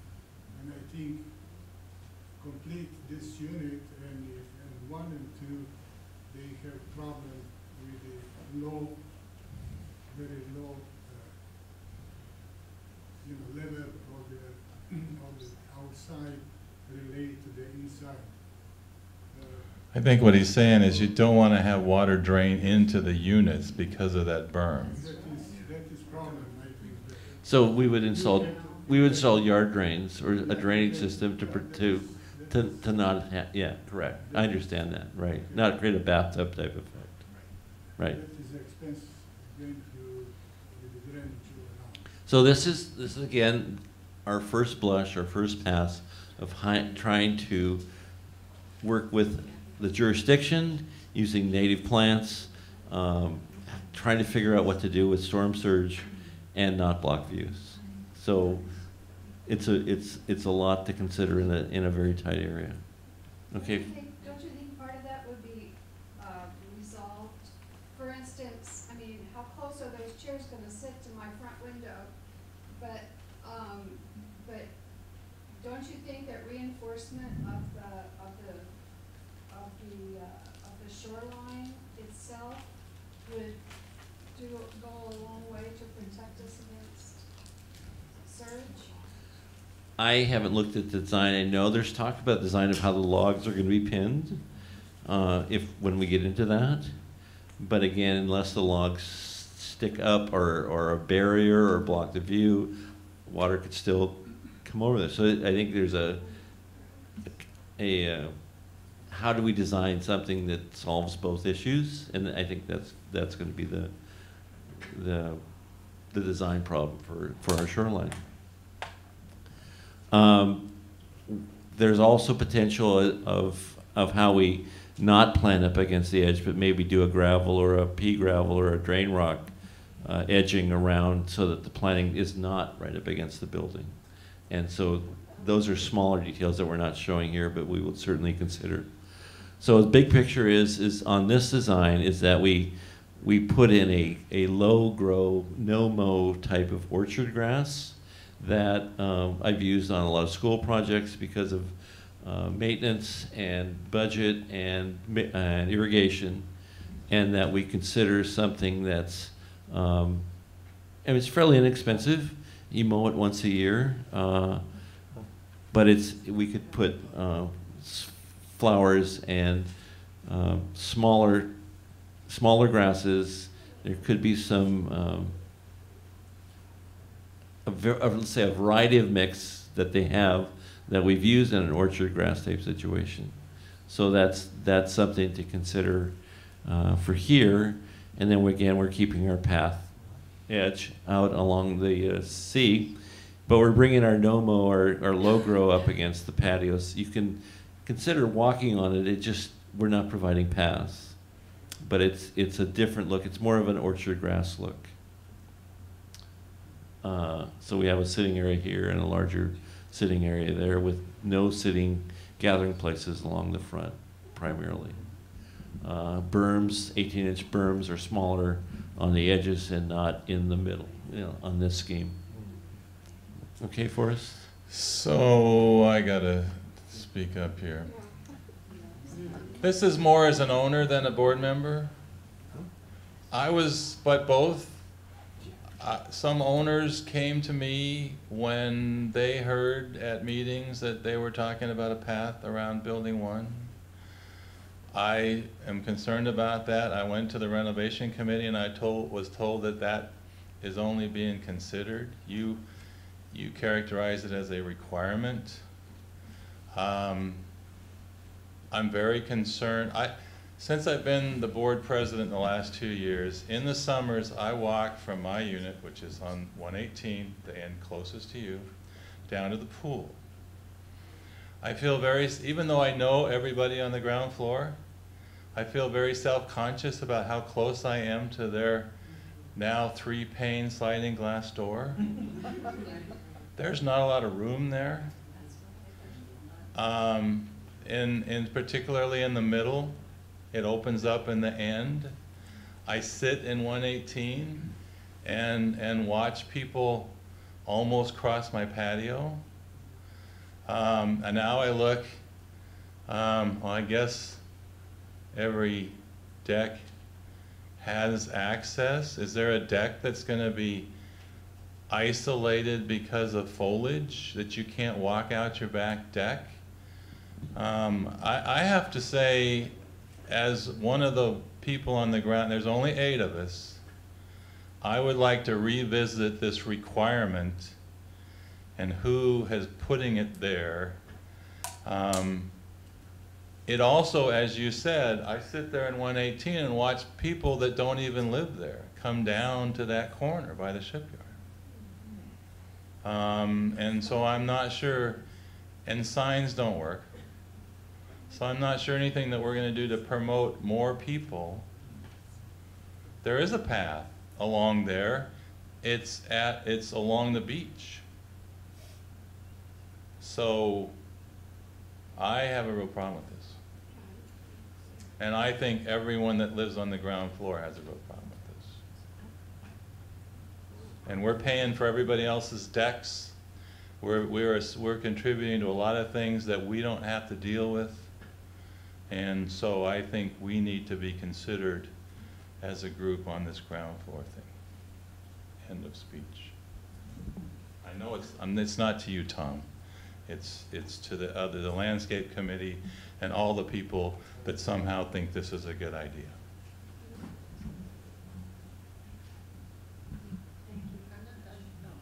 I also am in one eighteen.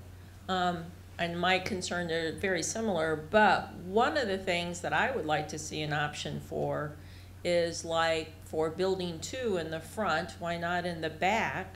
Which is extending the patio area, even if it's gravel or something, so that outside area could be more usable.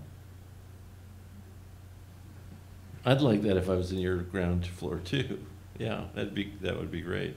I don't know from a HOA or, or what your, you know, how that works out, but I'm sure, Mike, you guys can, you know, work that, work that out, obviously. But I would like to see that as an option as well. Well, that, that's easy in, in terms Right. of your comment. That's easy for us to add. Um, whether or not everyone would want that, or individual units would want that, or somebody might want it and some wouldn't. But You have to check the footprint, right? There's no two ways about it. First, you have to check the footprint of what the HOA calls for and what the setbacks, whatever you call it. Yeah, well, I'm sure what the HOA has said, you're, you own this far out, right? Or you, this is your, and then the rest is common space. Uh, yes, Hi, um, so, um, I'm an owner too. I'm not on the board, or the president of the board, or on the renovation committee. But Mike raises, I think, an excellent process point, which is we're being given forced choices. All of the options here that Mike has to choose from and that we have to choose from have the path, but eight people out of, eight owners out of the 50, however many there are, don't want the path. It's probably also true that at least eight, and maybe more than eight, of the owners here don't want to spend any money at all on new signage. And yet, all of the signage options that we were given are spending money on new signage. There are people in the room, probably a lot of them, who would like to spend as little money on landscaping as possible because the only reason that they want to do anything here is to preserve their existing home, not to improve the landscaping. So I encourage the ground floor owners in building one to just vote none of the above on this selection if that's how they feel. And I encourage people who feel like I do about the first set of choices, that is about the entry sequence, to vote none of the above on that. And I encourage the board to, uh, to make sure that, you know, the guidance that has been given to uh, the various working groups is actually consistent with what the board wants and that we're following a process that allows everybody's voice to be heard. I don't live on the ground floor, but, and I don't care if I can walk around both buildings. But, it- and I, I can't speak for what the renovation committee, but in my comments is where I'm gonna express an option that I might be interested in that uses the spaces not directly in front of any of the units for pathways. But my real concern is, is I don't think you should be walking along that bank with erosion issues. That's where the native plants might need to be to affect erosion. So it may be possible to protect everybody's land by decreasing erosion and simultaneously protect those people on the first floor from having a lot of people in front of them. It seems like we have an awful lot of space where there can be paths that don't literally have to be on the shoreline only in front of that part of the building where people see. I mean, I know it would not be a circle, it would be a U shape. Um, but it, it, I'm, I'm concerned, my biggest concern for all of us is that that shoreline be protected. And after that, um, and it's all, I don't know how a path would affect that. But anyway, I- I guess more constructively, I'm gonna make some comments so that we get a sense for whether it is just eight people who feel that way, or whether there are a lot of us who would give on that, but would rather have the lawn smaller. But we still have to see it. Right. Um, I, I want to just insert something here. The shoreline issue in terms of stabilizing it, one of the primary thrusts with that right now, at least in our bag of tricks right now, is putting and planting plants along that edge in greater numbers that will um, create a heavy root structure that will protect both the vertical edge and the first portion of the flat surface on that edge. And um, we've gotten a lot of feedback from the city that is saying that as well. And so um, that is going to be one of the major pieces that's looked at in this process.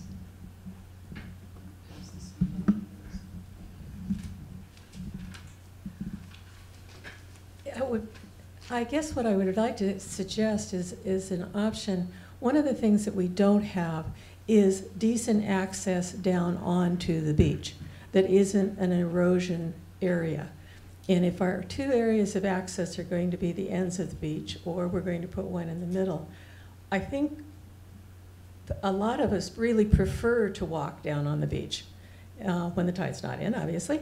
But um, I think we could solve a lot of that problem if we had paths that came to places where you can actually access the beach and not have to climb over logs um, and, and that it is stabilized.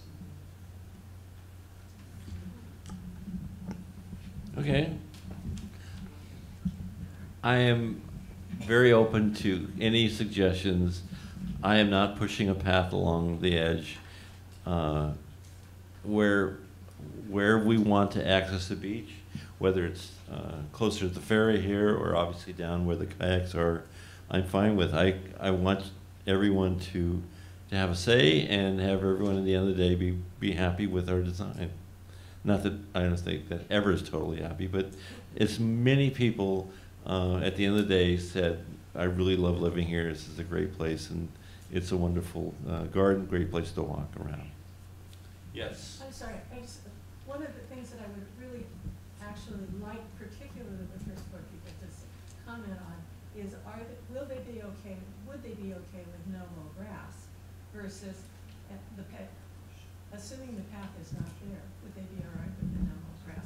So if people could comment on the no mow grass in particular. Did everybody get that in What terms of? is no mow grass? It's And what- orchard grass. And what does it look like? So it, um, I, we can put pictures on the website, but it's a, it's a grass that's, that's, if you consider an orchard, probably 14, 12 to 14 inches tall, reaches a max height, basically, right?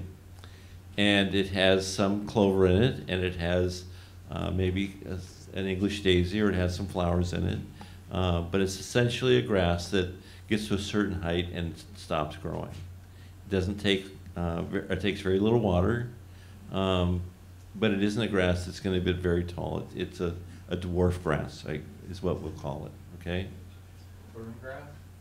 Kind of grass that's in berm? A what kind of grass? Kind of grass that's in berms? It's in a berm. Oh, whatever, right? Yeah. When you're walking on the beach and you're walking through the berms, you're talking about that kind of grass? No, it's not a. It's not a beach grass. Okay, all It's an orchard. Let's an orchard, Eastern Washington orchard grass. Maybe I could describe it like that. So I think, this is my opinion.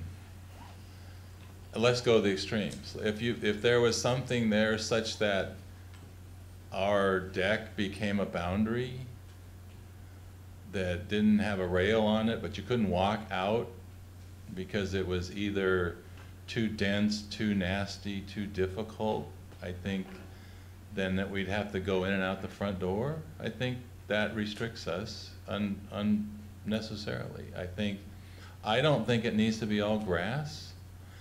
Um, I like the idea of being able to expand the deck and sit out on the whatever beyond the deck.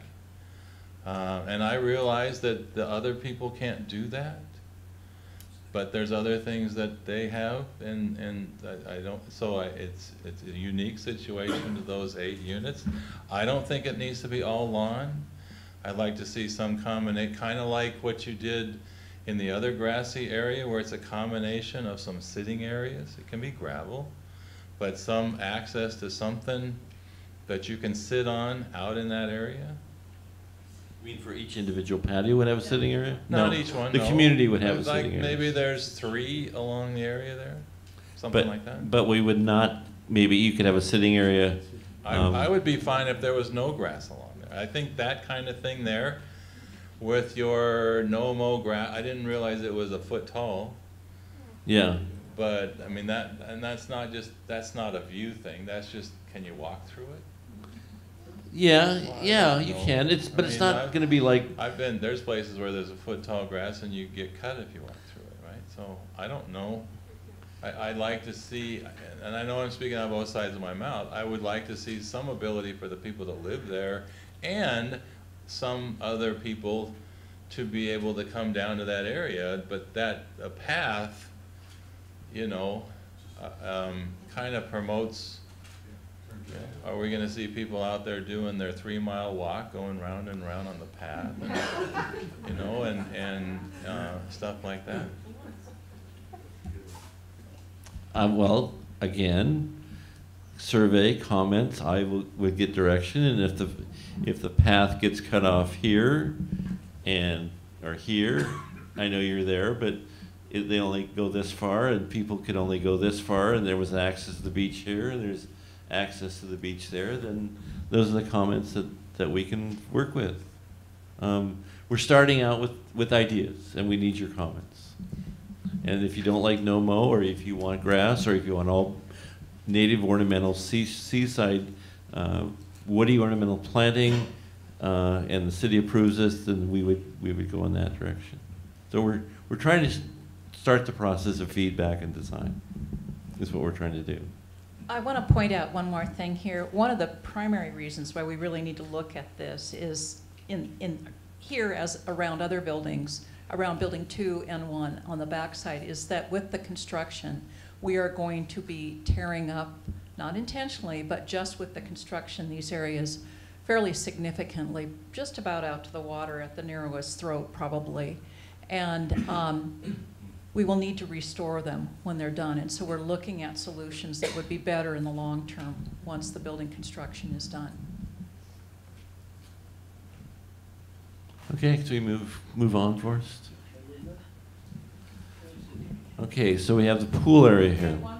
Yeah, Oh, I'm sorry. sorry. This, this really isn't a question. I, I got a suggestion, though. I'm- I, I really don't have a dog in this fight at all. I'm in the other building and, and, but I, I- but I listen to the comments here, and I think that the people on the ground floor of Building One have a unique set of problems that maybe have been in existence for a long time.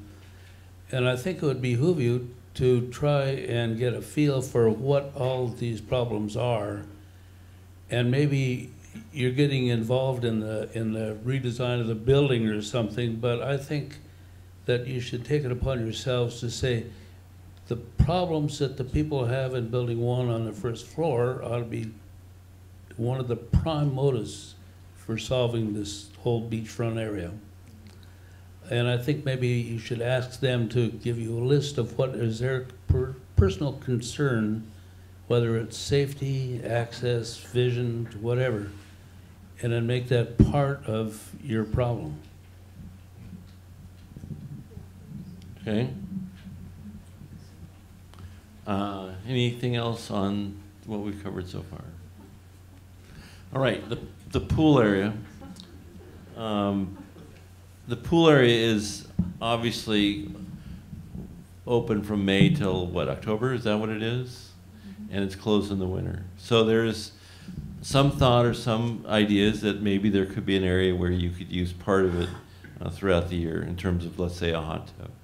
But survey directions said, we don't want a huge kitchen, we don't want to spend a lot of money there, but maybe we could enlarge uh, area for barbecuing, or we could have another options for barbecuing. And the arbor and the trellis are really uh, not doing very well. They're maybe falling down, or we don't like the, how they look. could we look at something there as, as a sun cover or sunscreen or some sort of roof structure around the pool? So in the summer, uh, if it's really sunny out, we, we have, could be undercover, or if we're barbecuing in the rain, we could also have um, some sort of uh, place to, to cover while we cook. So let's, let's look at, so this is a little bit more of, uh, say, an ex- extreme uh, design, but including a number of options, is that um, we have maybe rebuilding the arbor structure, uh, putting in a raised uh, spa or deck here so that the spa sits above grade. It's a typical spa that you would buy from Aquaquip or a, a company where you set it on a concrete slab and you bring the, the, the power over to it, but essentially you fill it with a hose. It isn't like the pool. It has its own uh, set of chemicals. It's like my hot tub at home. And uh, it's a standalone uh, hot tub that could be used in the winter when the rest of the pool and the hot tub is not in use. Um, this also shows uh, raised ve- vegetable garden beds and potential conversation areas here and here, which could be maybe a fire pit or table and chairs or something near the beach. Uh, the scheme also uh, enclosed a dog run or dog park area, and what that means is that you fence an area in so that people could be have off leash, take their dogs off leash, and allow the dogs to have uh, freedom to run and not be on a leash. And we thought this was a, an excellent area behind your. Um, when you walk back there, it's kind of it's really not. It's a very underutilized area. So um, there was some concern with some of the pet owners that they would like an off-leash area for their for their pets. Um, raised beds um, are something that the gardeners or people who garden would like, and how we uh, divide that or rent that space is is still to be determined. But we we've put them closer by the water and away from people's views because there's some people are concerned of what raised beds look like in the winter. Uh, my raised beds at home typically have a cover crop, and so they're always green and uh, full of a six-inch type of uh, seed mix that makes them very attractive throughout the winter. So it, it isn't like the corn or the peas are just left to rot uh, in the winter. Uh, you can see the uh, rain gardens here, uh, fencing area uh, around this entire area. But again, the shape of the pool stays the same and roughly the, the concrete. But we've added access points here to the pool as well as the existing site. Okay, um, next slide. This is a um, little different in that we're providing pavilion structures or some sort of, eh, not to be decided whether, the- what the roofing material is, but the barbecues could be in two separate um, covered structures so that you could, you could have a, uh, I would say, when I barbecue, there are times when it is raining. I want to barbecue. I want that steak on the barbecue, but I've got an umbrella or I have to wear my raincoat. But this allows me to, to do both. We're moving the uh, arbor structure around to this side of the, the site, and then we're maybe changing materials with a, actually a, a wooden deck that is flush with the lawn, um, but it's just changing materials. And then we're having, again, gravel or conversation areas that could be a fire pit, or um, that's kind of really what we're saying, is that there are two places for potential fire pits, and then the lawn uh, area around here that could be great for laying your towel down, or if you're if you're swimming and having a place to go uh, with a lawn area, like kind of like we have now. Um, assuming then the fence would be on the outside of the pool and the lawn area. One uh, rain garden there in, the, in this space. Okay, next one. Uh, this one again is a bit different than the last. Rain garden here, but what we're doing is we're changing the entry of the of the pool access point to a kind of a node that then brings you in on this corner again with our pavilion barbecue structures here, the arbor uh, element there. Uh, paving has been squared up So we end up with a third barbecue area here. We could, instead of having the off-leash area, we're putting the raised beds in this area uh, to help hide them a, a bit more. And then a gravel multi-use area, which could be fire pits, could be bocce ball, could be a number of different things. But um, whether uh, you could like some areas or some things in one scheme and some options in the other scheme, please make those comments, and that's what we're looking for. Yes.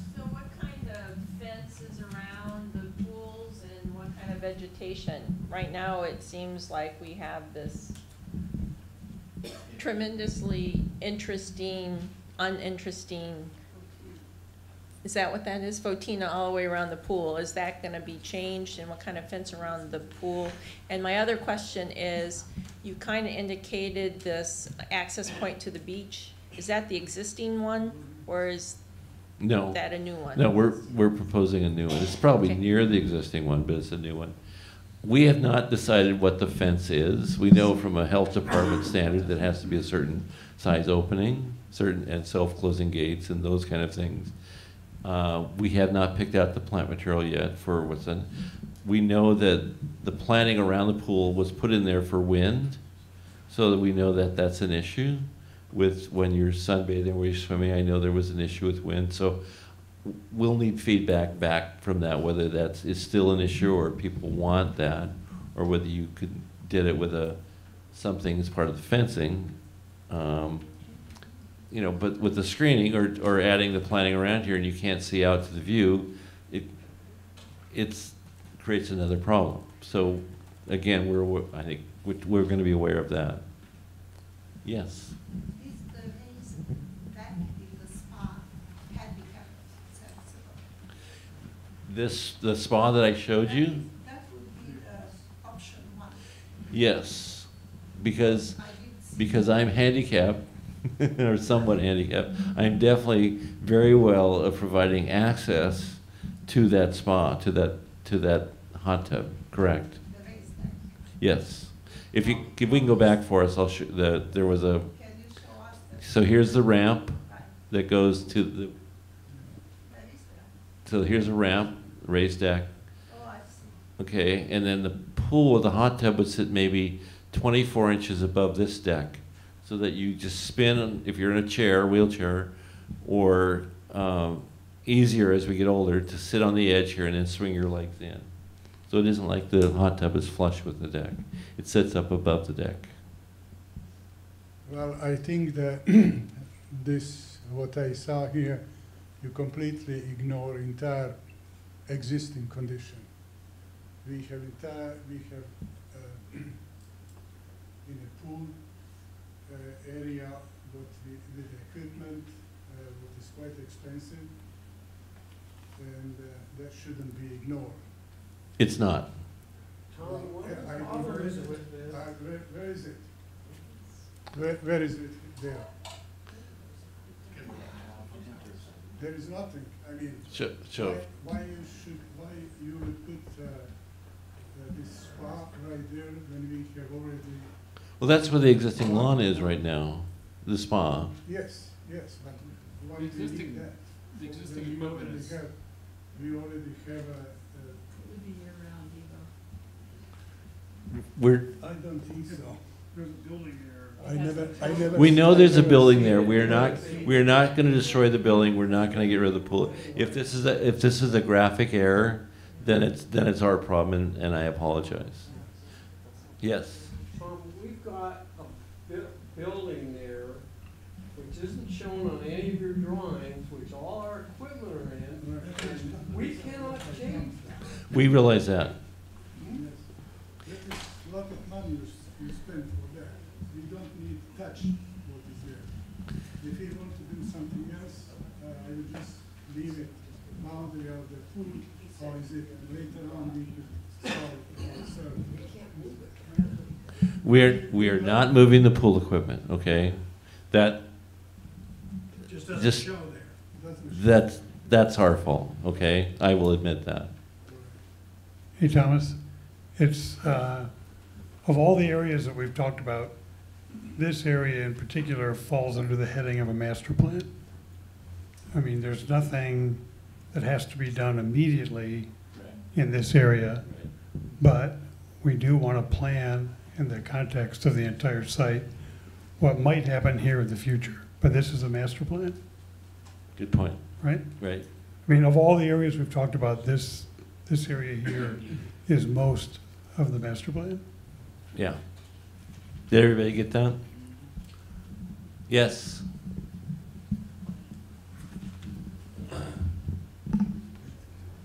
Perhaps, uh, perhaps what I'm about to say is covered by the comment that was just made, but uh, I love hot tubs. Uh, You know, a lot of the stuff that you've talked about is great stuff, but I personally um, get aggravated uh, with proposals like this at this point in the process because I don't think it's necessary. The stuff that we need to get done, which we still don't know what it's going to cost, but we're talking about a million bucks aggregate. I don't think we should be looking at doing anything other than maintaining this pool area until we know what everything else is going to cost. That's, that's fair, very fair uh, statement.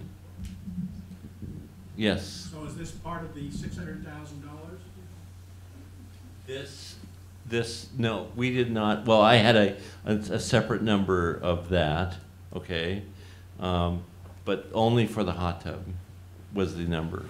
Um, we didn't do the roof or the structure or the arbor or, um, the raised beds were part of that six hundred, but that's a very small item. The hot tub was a, was a separate area, was a separate, but that, um, that was not, okay? Okay, next. So the last scheme is bringing some lawn area down uh, in front of, uh, on the edge of building one, redoing the, the path as kind of a, a really small tree that isn't gonna block anyone's view, okay? Uh, But it might be ten or eleven feet tall at, at height, and we, we thought maybe one tree might be a good focal point in terms of like a piece of art. Uh, but again, uh, most people, I think, from building two could certainly see over it, and as you look down, even from the first floor, it, it's not going to block their view.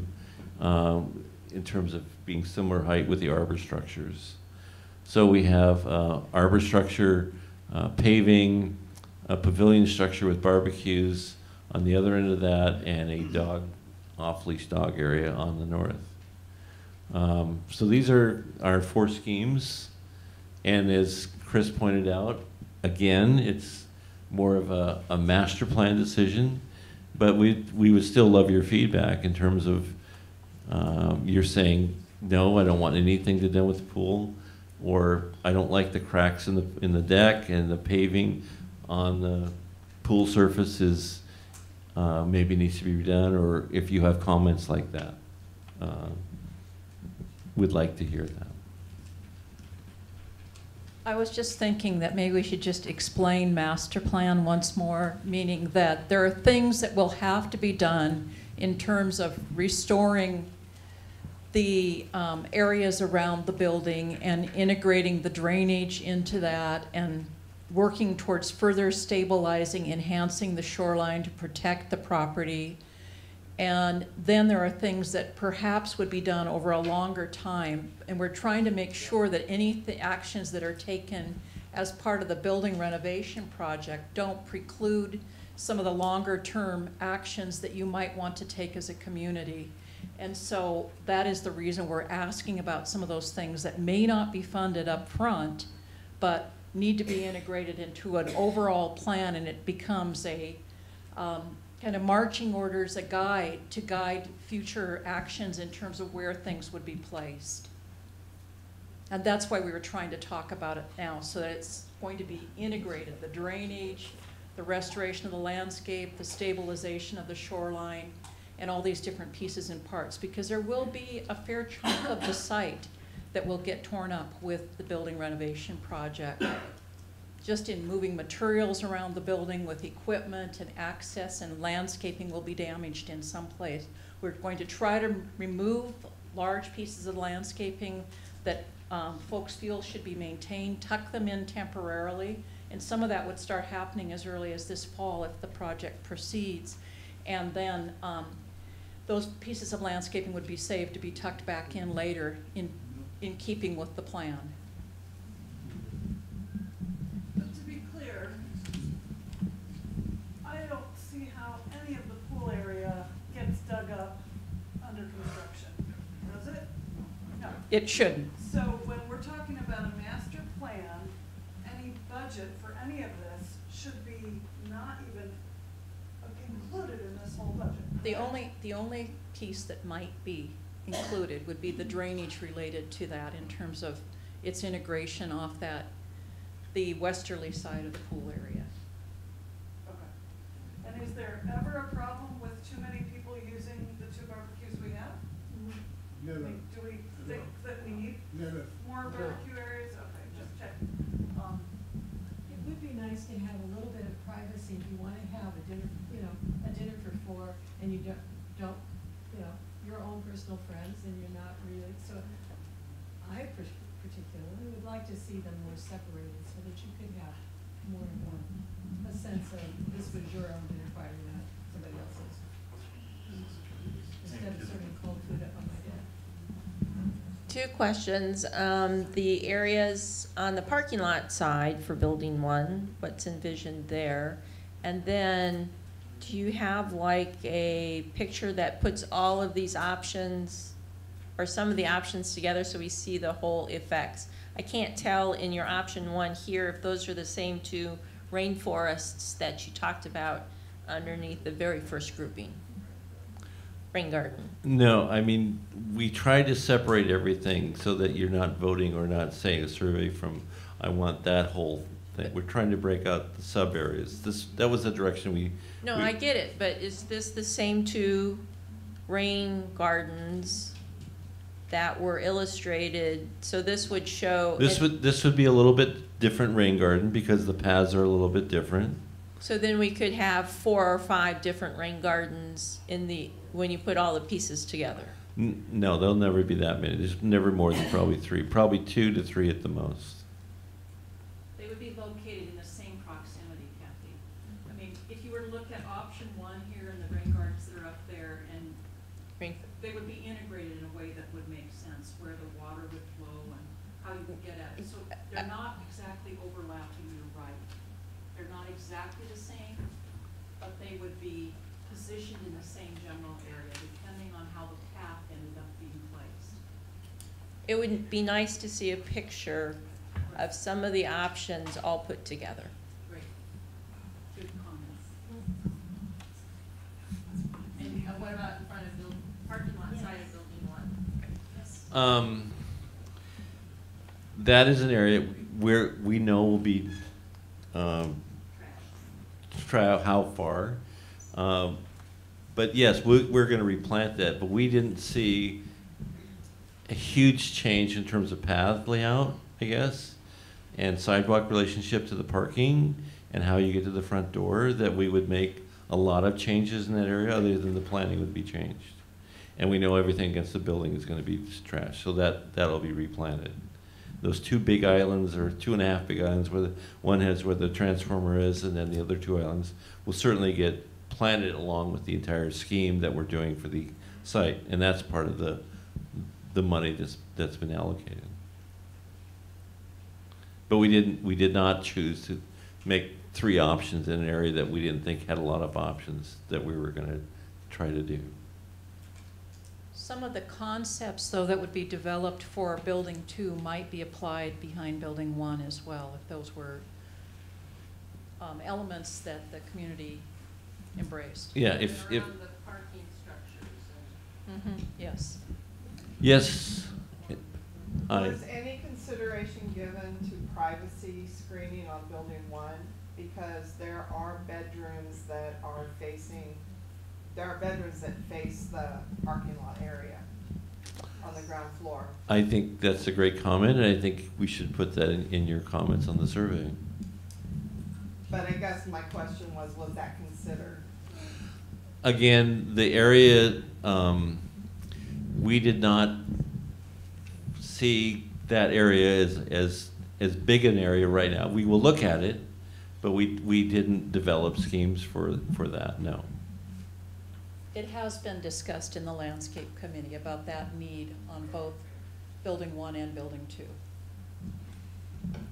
Yes? Um, and one of the, just to piggyback at that a little bit, even something, uh, when my mind thinks about needs versus wants versus, but one of the things as a, as a, um, relative to where I park and safety, I I hope that we also look at access still to the way the traffic flows into toward building one.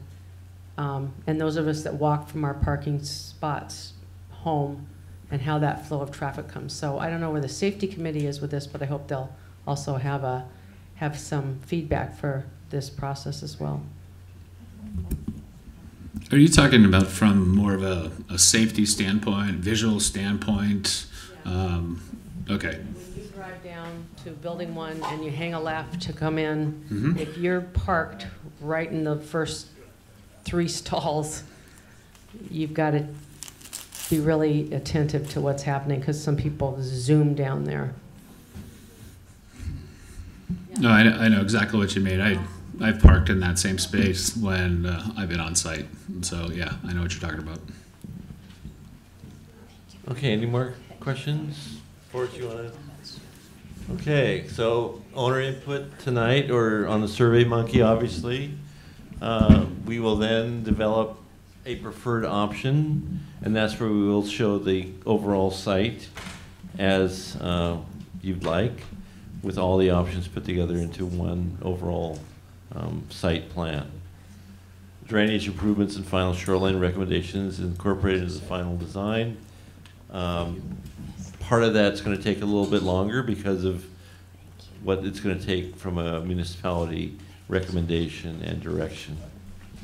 Uh, and then the final design option cost estimate will be on the June twenty-first meeting. Okay?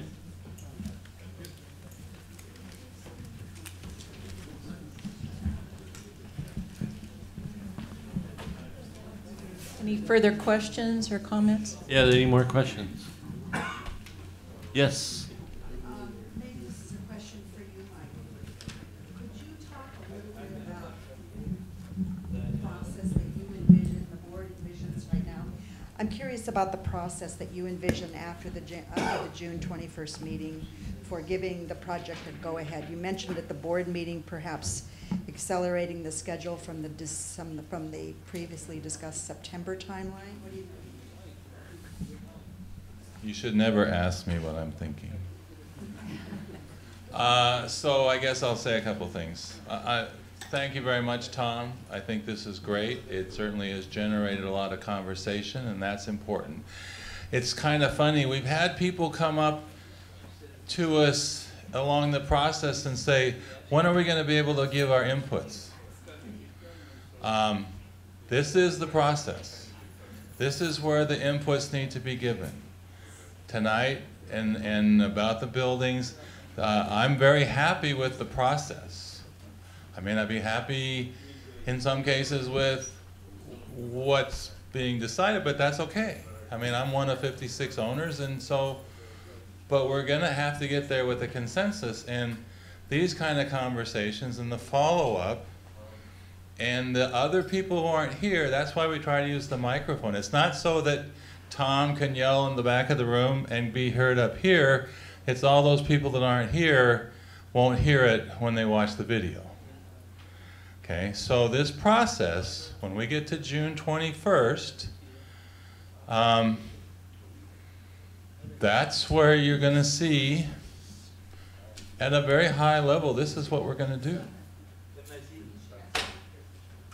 I know that. Okay? Now, I'll also tell you if someone were to ask me, what's been the biggest challenge of being the board president for two years? I would say, without a doubt, and clearly the highest thing is landscaping. There are 56 owners and at least 112 different opinions on what landscaping should be. There's no what, and I've thought about this a lot. It's been very frustrating for me because it's not necessarily highest on my list.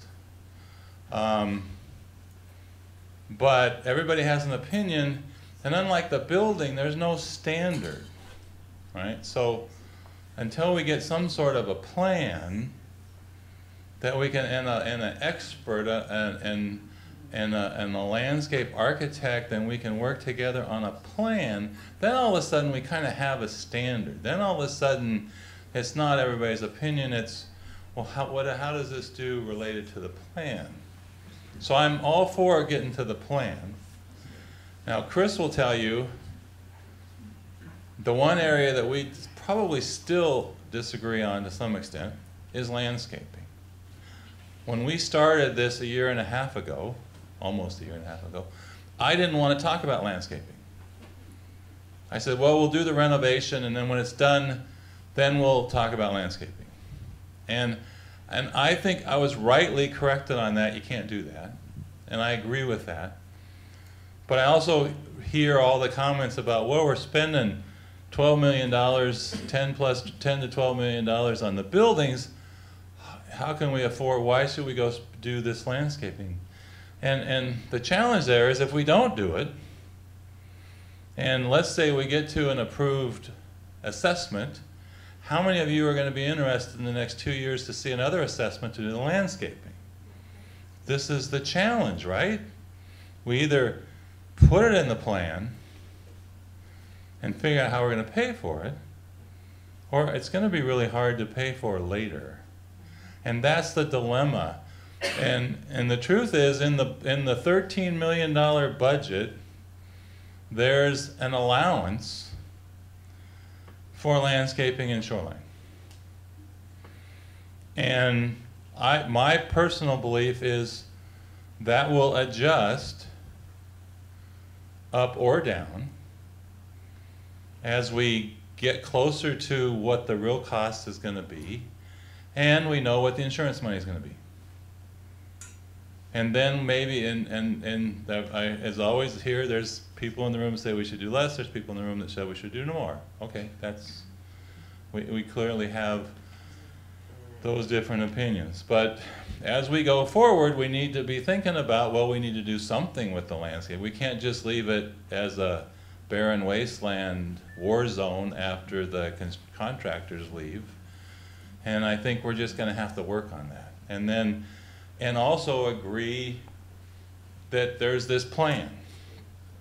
And then we'll have to figure out how we're going to get to the plan. So now I'll answer Vicky's question. Um, as, as you all should know, we've hired a general counsel. And that general counsel has a lot of experience uh, in how we get from here to there. And so while I was in the Caribbean, he sent out a fairly long email that says, here's some of the stuff you got to do, which is, you know, one thing is getting to a point where we kind of know the scope of the work, we kind of know the cost, you know, but then there's a process that has to be followed to meet our declarations, to make sure the voting is legal, and, and most importantly, who was, if you remember the Tower project, Tower One project, you know, we, annual meeting in June, it got approved, new board, we thought we were gonna break ground in July, August, and it turned out it wasn't for several months because it took us a while to get the paperwork right for the loan. So there's other pieces of this besides just figuring out what we're going to do and what it's going to cost. So the answer to Vicky's question is, I have, uh, I sent a note after I got back and I could sit down and respond to his comments. I sent a letter back, the board sent a letter back to the general counsel and asked them to give us a schedule based upon the 20, now 21 June date. Um, that is a combined annual meeting and renovation meeting. We'll keep the, to keep the annual meeting very, as short as we can, approve the budget, elect new members, and then go into this. Um, so I hope that by June 20th, we'll have a schedule that we can show. I think we can move forward on approval of the assessment and possibly collection of funds enough to get started and get started more in the early part of 2018 and still allow those that need a little bit more time to get their money together to do that. But that's all stuff that I have to talk to the lawyer about. And finally, while I'm up here, the trial started today. I was there. Um, sorry? Yeah, this is fine. The trial started today. Uh, we, uh, the morning was uh, taken up with jury selection. I'm, I'm happy with the jury. Um, the afternoon was primarily opening statements, one for us, four for them. There's four insurance companies.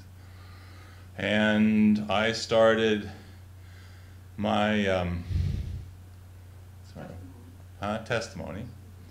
And we stopped, and tomorrow Chip and Steve and probably Laura. So the uh, plaintiff is, is starting to state their case.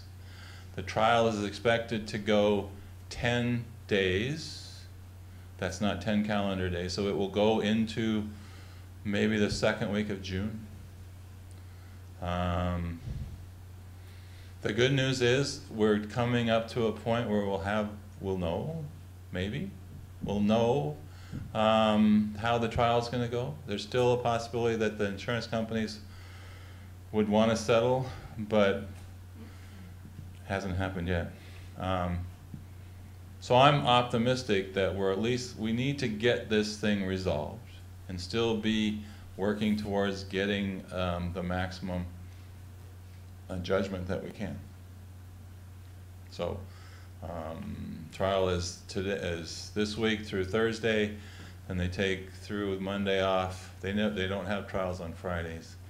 So then Tuesday, Wednesday, Thursday next week, and then if it's not over, it'll pick up again Monday, the first Monday in June.